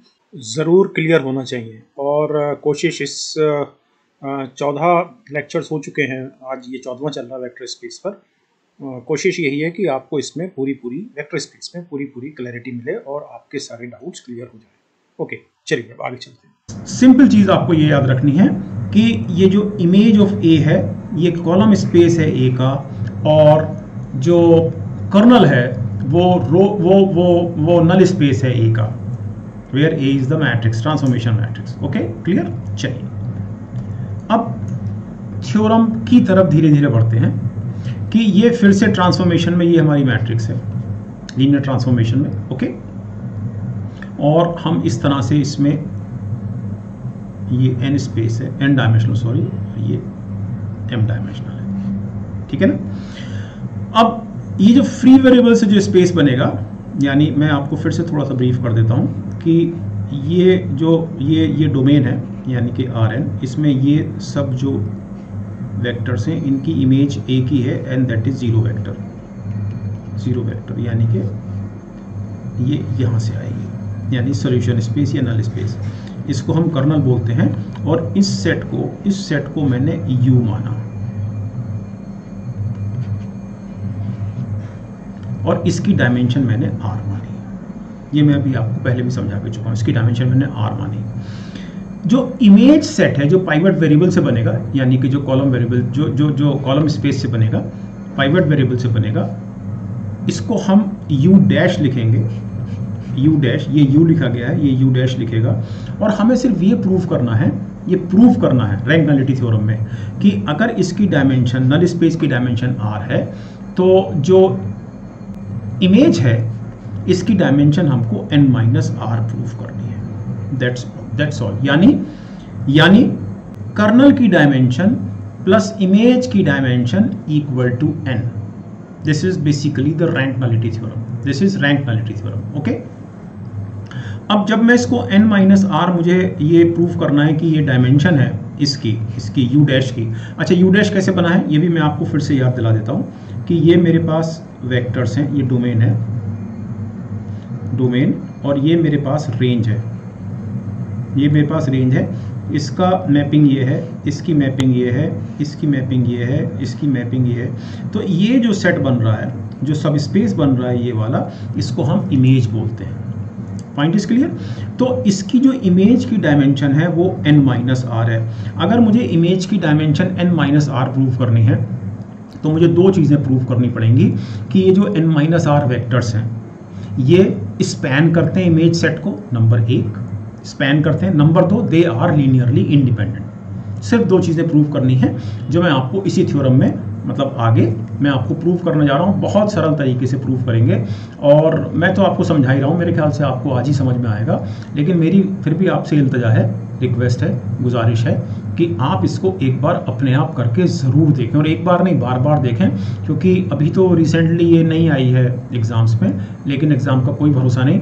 और अगर ये आएगी भी तो ऑब्वियसली 20 मार्क्स की आएगी तो आपके हाथ से 20 मार्क्स जाने नहीं चाहिए, है ना? जब हम 400 प्लस की बात करते हैं मैथमेटिक्स में तो हमको एक एक छोटी छोटी चीज़ पे कंसंट्रेट करना होता है। इसीलिए मैं आपको ये सब बहुत छोटी छोटी जो चीज़ें हैं, वो मैं आपको पढ़ाता हूँ। चलिए तो इसको अब मैं प्रूव करता हूँ रैंक रिलेटिव थ्योरम को लेकिन अब इसका स्टेटमेंट पढ़ लेते हैं। ओके ये मैं, मैंने कुछ ड्राइंग ज़्यादा बना दी हैं।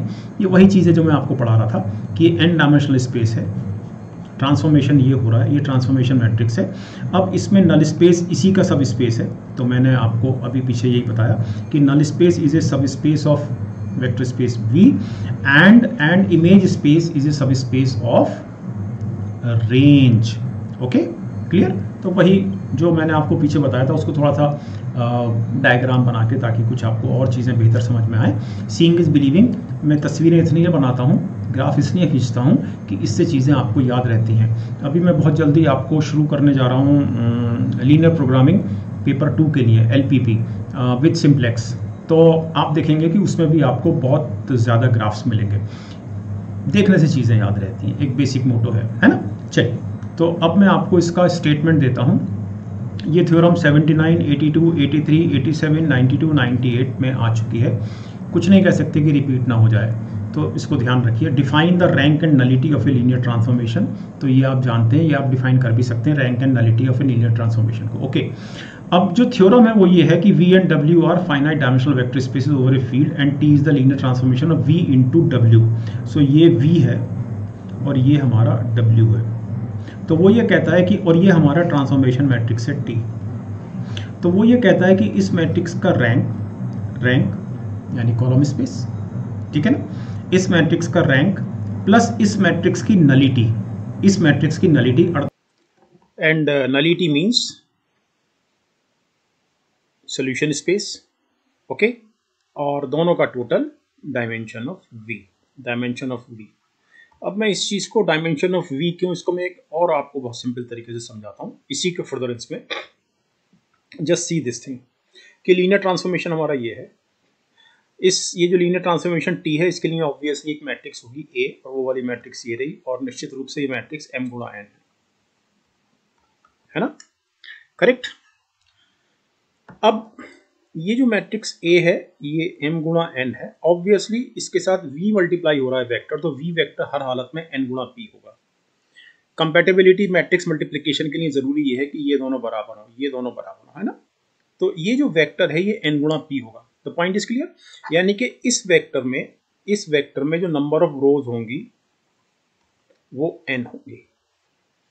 यानी हर वेक्टर के जो कंपोनेंट्स होंगे, वो एन कंपोनेंट्स होंगे मतलब आप इसको ऐसे समझ लें। Sum v one one v two one two one and v n one okay तो ये जो कंपोनेंट्स हैं ऑब्वियसली ये एन कंपोनेंट्स हैं, इसका मतलब इसका मतलब कि ये जो वेक्टर वी है, ये एन डायमेंशनल है। पॉइंट इज़ क्लियर ओके इसमें कोई डाउट तो नहीं है। Now it is equal to this vector space m गुना p. ओके तो इसलिए ये वाला जो वेक्टर है इसलिए एन डायमेंशनल स्पेस है जो मैंने अभी आपको कारण समझाया। ठीक है? तो आ, मेरे ख्याल से अब आपको ये रैंक नलिटी थ्योरम का जो स्टेटमेंट है समझ में आ गया है और चलिए इसको प्रूव करना शुरू करते हैं। इसको 98 में दूसरी तरीके से पूछा गया कि लेट ए बी एम गुणा एन मैट्रिक्स यानी कि टी की जगह ए है। तो ये एम गुणा एन मैट्रिक्स है। Show that sum of the rank and nullity of A इसकी जो रैंक एंड नलिटी है, वो, उसका जो सम है, वो एन होगा। सिंपल एन इसलिए होगा क्योंकि ये जो एन है, ये ऑब्वियसली डायमेंशन है। Dimension of domain of linear transformation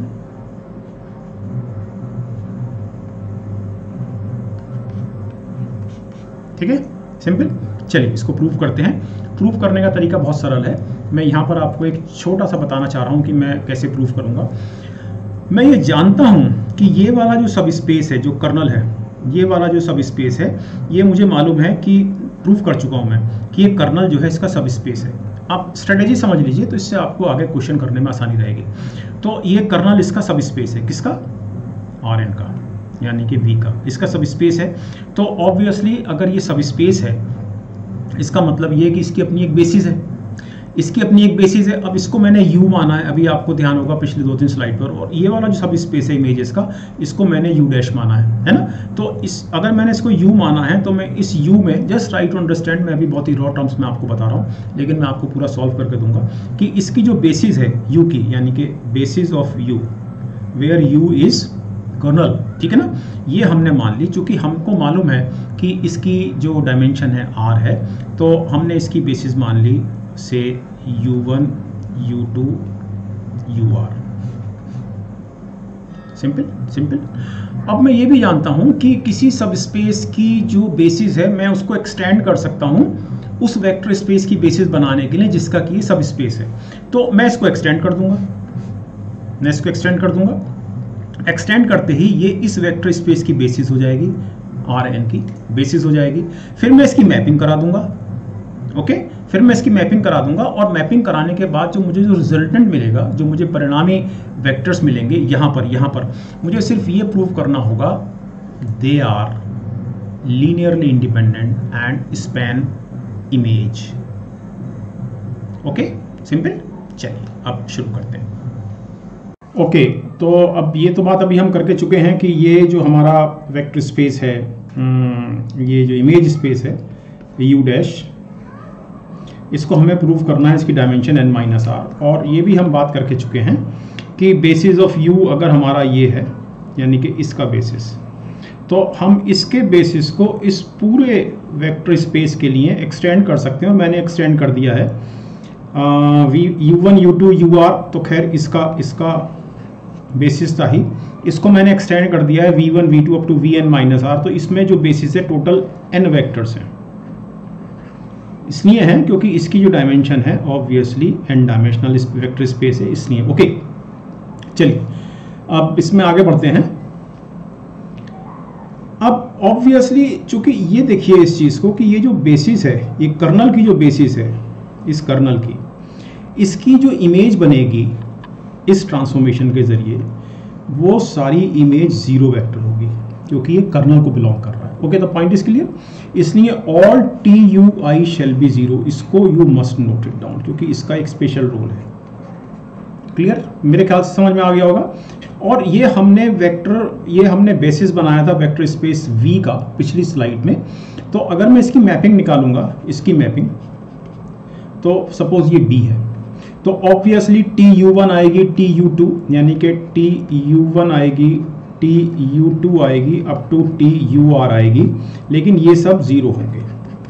ये सब ज़ीरो होंगे इसके कारण। तो एक्चुअली इसकी जो मैपिंग होगी, इसकी इसकी जो मैपिंग होगी, इसको मैं बी कहूँगा। It shall be T v one क्योंकि वी वन की टी वी वन हो जाएगी। वेरी क्लियर ये टी वी टू होना था sorry it is T v two and up to T v n minus r very clear ठीक?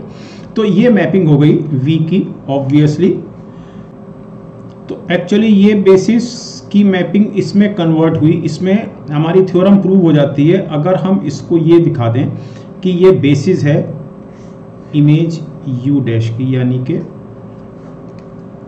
इस vector space की। अगर ये इसकी बेसिस है, हमारी थ्योरम प्रूव है। क्यों प्रूव है? क्योंकि इसमें एन माइनस आर वैक्टर्स हैं। एन माइनस आर वैक्टर इसमें है।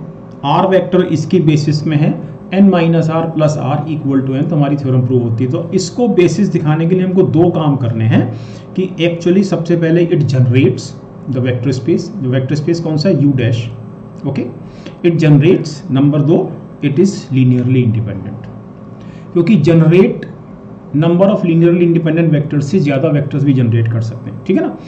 तो इसको प्रूव करने के लिए हम ऐसा करते हैं।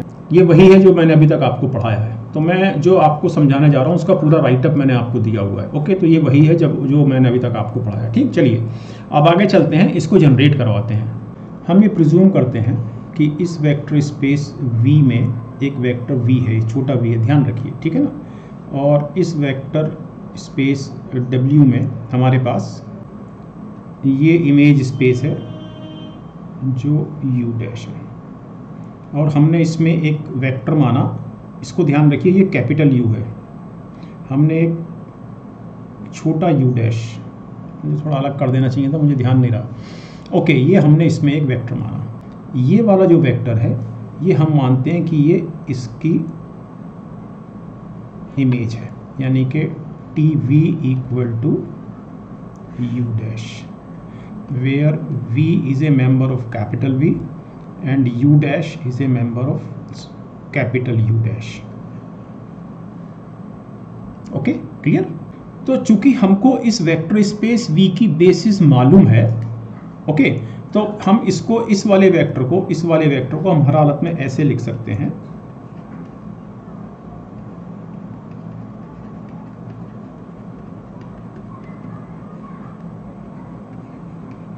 ओके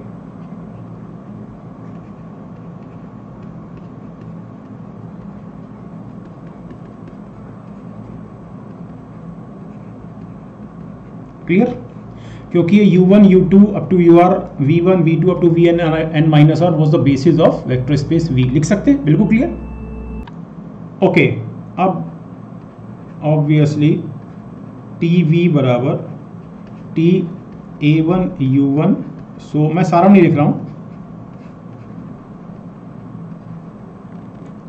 ओके क्लियर इसका मतलब ये हुआ लीनियर ट्रांसफॉर्मेशन का जो डेफिनेशन है, उसके हिसाब से।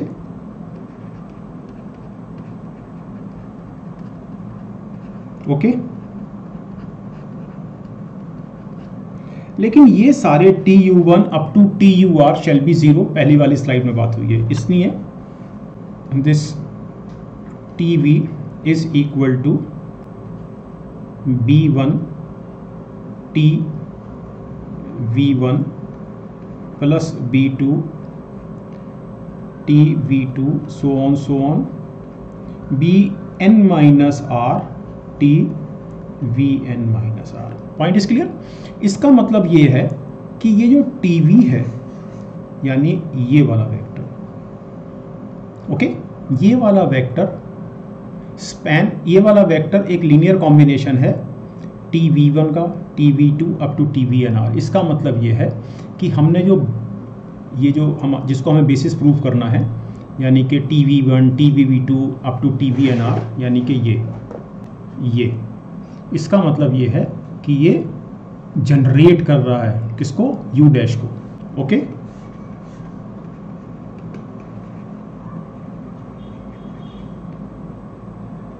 एक पॉइंट कंप्लीट हुआ। अब हम ये प्रूव करते हैं कि जो बी है, ये लीनियरली इंडिपेंडेंट है। Okay suppose sum for some scalars c j यानी कि ये स्केलर्स हैं। We have c one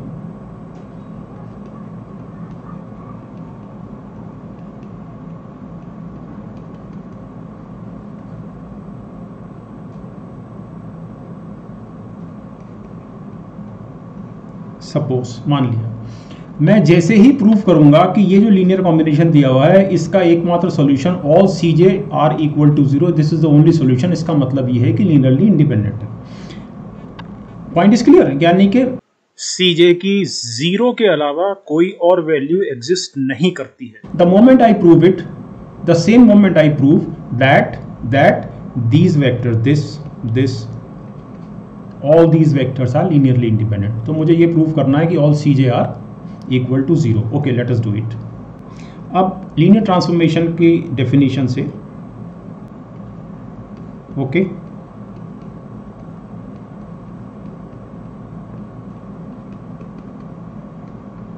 okay.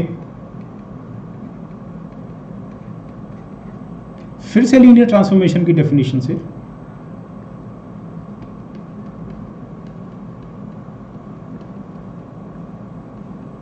Okay okay इसका मतलब क्या हुआ? चूँकि मैपिंग है टी लगा हुआ है so this is a mapping किस वेक्टर की मैपिंग है? इस वेक्टर की मैपिंग है। इसका मतलब ये वाला जो वेक्टर है, ये कर्नल को बिलोंग कर रहा है। क्यों? क्योंकि उसका जो मैप्ड वेक्टर है, उसका जो मैप्ड वेक्टर है, ये वाला ये वाला पूरा it is equal to zero इसका मतलब ये वाला जो वेक्टर है, ये कर्नल को बिलोंग कर रहा है। मेरे ख्याल से द पॉइंट इज़ क्लियर तो मैं हर हालत में इस वेक्टर को कर्नल की जो हमने बेसिस मान रखी है u1 u2 up to ur उसके एक लीनियर कॉम्बिनेशन के रूप में लिख सकता हूँ okay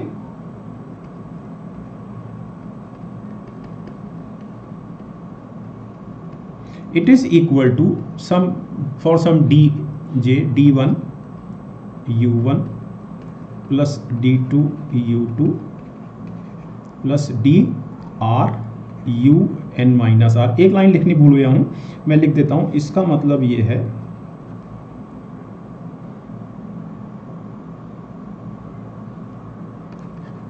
the vector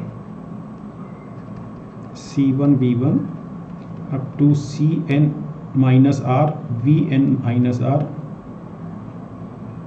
belongs to ये आपको ज़रूर लिखना है, कर्नल। ठीक now this is equal to of this is बराबर। इसको मैं ट्रांसपोज कर देता हूँ। So it is d one u one plus d two u two d यहाँ पर एन माइनस आर होना था, ध्यान रखना। यहाँ पर आर होना था इस जगह। इसको मैं कर देता हूँ this is not n minus r चूँकि आर वेक्टर्स हैं कर्नल की बेसिस में so it is only r okay r u r minus c one v one minus minus c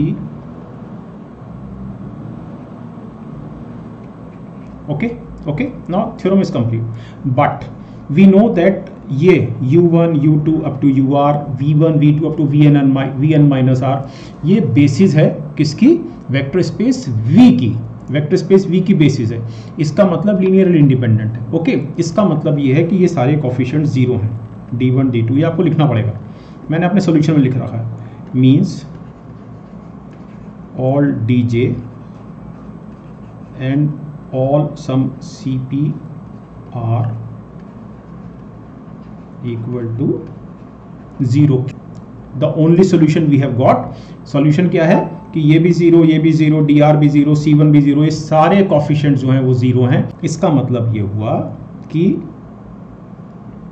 ये सारे कॉफिशेंट्स ये चूँकि यहाँ पर सी वन से लेके c n n minus r तक कॉमन ज़ीरो हो गया है so it is zero it is zero it is zero इसका मतलब इस लीनियर कॉम्बिनेशन में तो ये जितने भी कॉफिशेंट्स हैं इन वेक्टर्स के लिए, वो सब ज़ीरो हैं। प्रूफ्ड प्रूफ ज़ीरो है, इसका मतलब ये है कि ये सारे vectors T V one T V two up to T V N T V N minus R all are linearly independent so this is also proof this way the theorem is proof मैंने आपके लिए इसको लिख रखा है। ये बिल्कुल वही है जो मैंने अभी आपको कराया है। और इसके बाद ये दूसरा पार्ट है। तो ये दोनों पार्ट्स मैंने लिख रखे हैं आपके लिए। ओके ठीक है? चलिए, अगला देखते हैं। Show that the mapping this this is the mapping is a linear transformation. Find its nullity. तो लीनियर ट्रांसफॉर्मेशन दिखाने के लिए आपको दो चीज़ें दिखानी होती हैं। पहली चीज़ क्या दिखानी है? पहली चीज़ आपको ये दिखानी है दो वेक्टर्स u और v के लिए T U plus V equal to T U plus T V और दूसरी चीज़ आपको क्या दिखानी है? For some scalar c you must have this relation established इन दोनों को हम क्लब करके ऐसे भी कर देते हैं। Where C and D are scalars.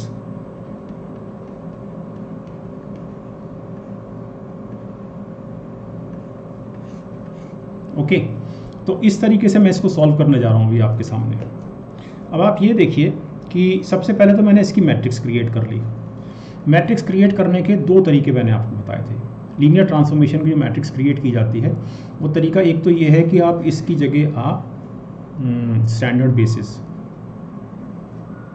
Standard basis लेके उसकी मैपिंग निकाल लें। तो इस मामले में स्टैंडर्ड मैपिंग क्या होगी? वो होगी ये ये ये ये स्टैंडर्ड स्टैंडर्ड स्टैंडर्ड बेसिस होगी, है ना?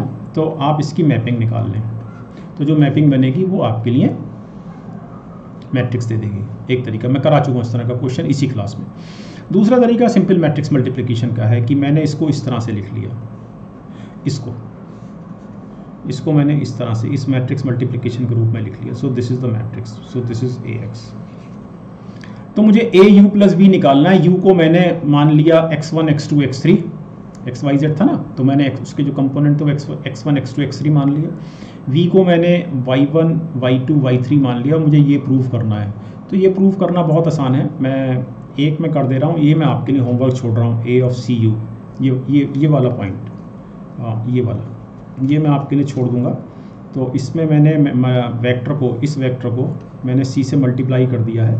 बल्कि हो ही गया आपके सामने सॉरी होमवर्क भी नहीं छोड़ा है। तो मैंने सी कॉमन निकाल लिया यहाँ से सी पीछे आ गया so it is C A U तो ये स्टेब्लिश हो गया। इस तरह से, ये मैं कर देता हूँ। So it is okay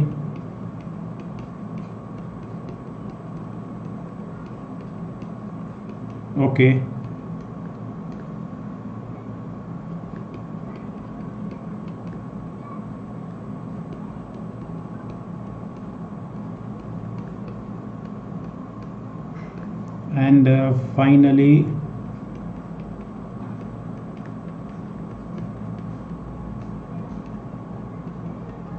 okay matrix हो गई है और इसको मैं तोड़ दूँगा अलग अलग okay?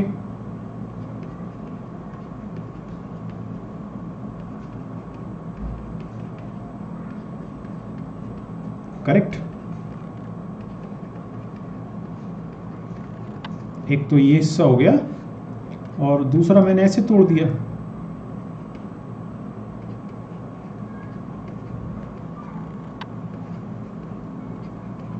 Correct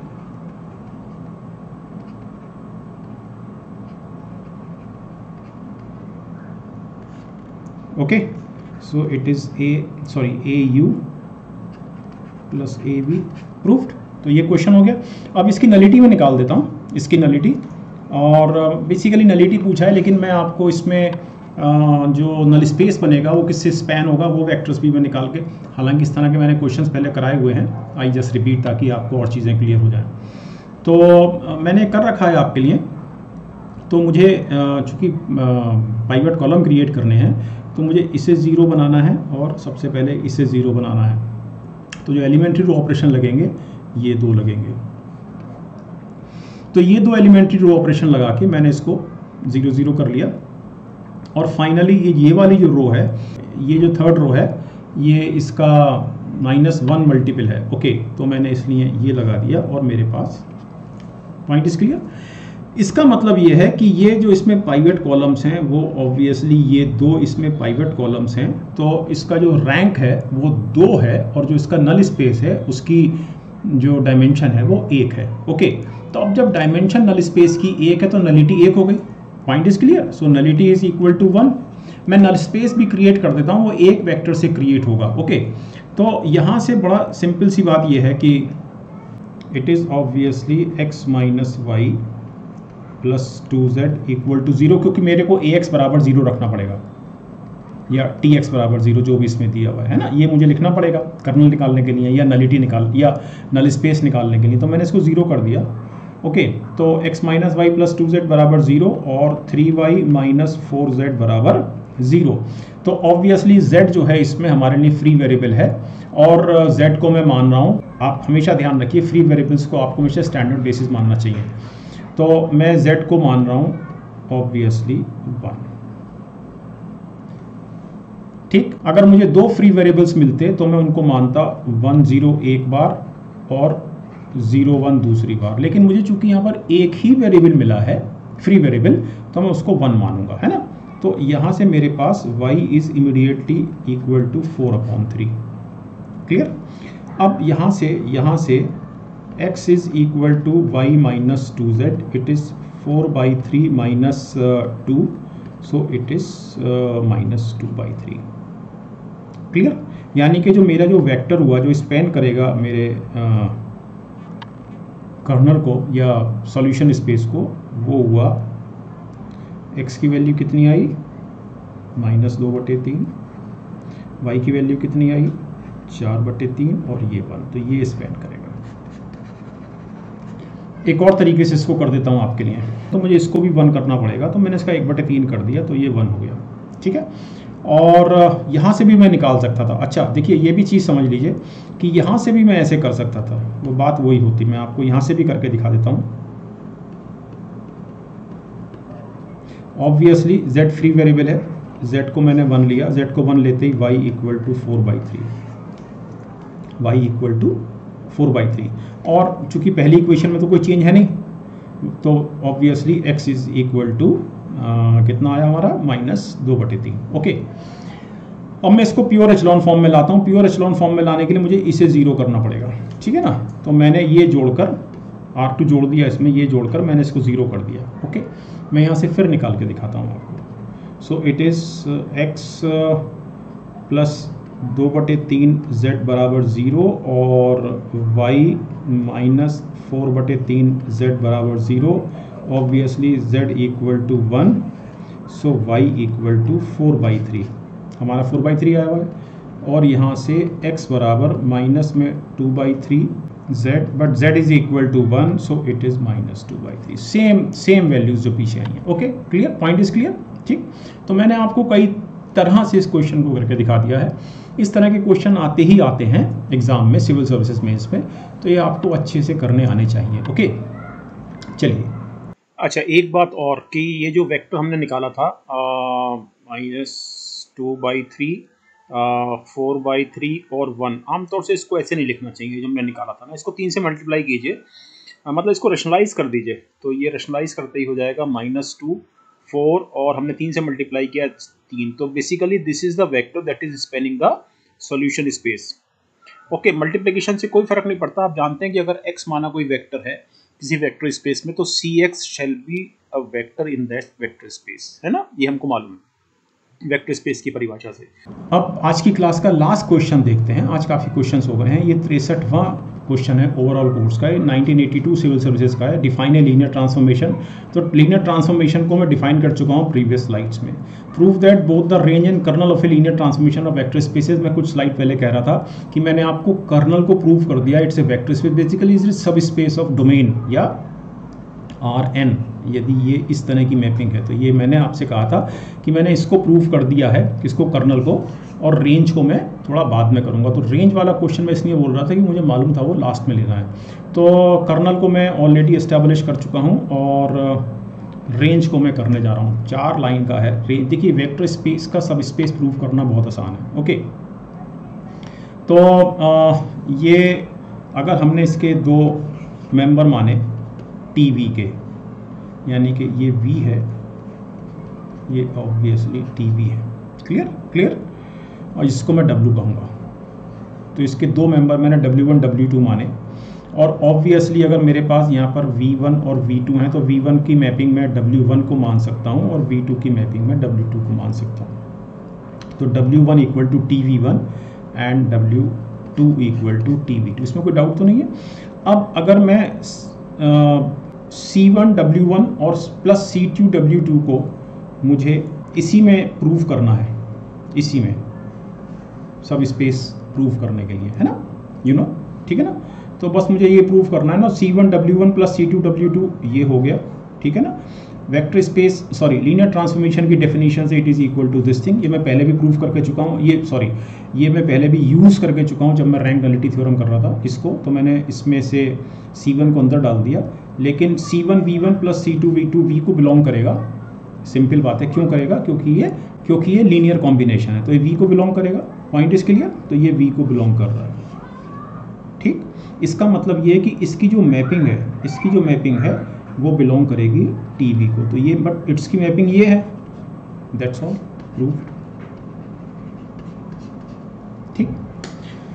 तो आज मेरे ख्याल से आज आपको लीनियर ट्रांसफॉर्मेशन में इतना आ गया है कि आप लीनियर ट्रांसफॉर्मेशन को क्वेश्चन तो करना शुरू कर ही सकते हैं। मैं आने वाले क्लासेस में, अब मैं मैट्रिक्स से शुरू करने जा रहा हूँ। लीनियर ट्रांसफॉर्मेशन पे question I mean vector space पे ओवरऑल क्वेश्चन जारी रखूँगा। और आई एम सॉरी थोड़ा सा मैंने शुरू में बोला है। क्लास में थोड़ा, इस क्लास में थोड़ा लेट हुआ है, लेकिन आपने ये भी देखा होगा कि इस क्लास में बीच बीच में बहुत जगह एडिटिंग है, क्योंकि जहाँ पर मेरे को लगा कि यहाँ पर कुछ और अच्छी चीज़ आपको पढ़ाई जा सकती थी तो मैंने वीडियो का उतना हिस्सा काट के बाद में शूट किया है और फिर मैंने आपको पढ़ाया है। कारण सिर्फ़ एक है कि मैं आपको 500 में 400 मेरे चैनल का नाम है 400 यस 400 प्लस। तो 400 प्लस की अगर मैं बात करता हूँ आई बनाने की बात करता हूँ तो इसका मतलब ये है कि हमको छोटी सी छोटी चीज़ों पर ध्यान देना होगा। इसीलिए मैंने कई जगह वीडियो को एडिट किया है और उसी में समय लगा है। तो चलिए, मिलते हैं नेक्स्ट क्लास में। Thank you very much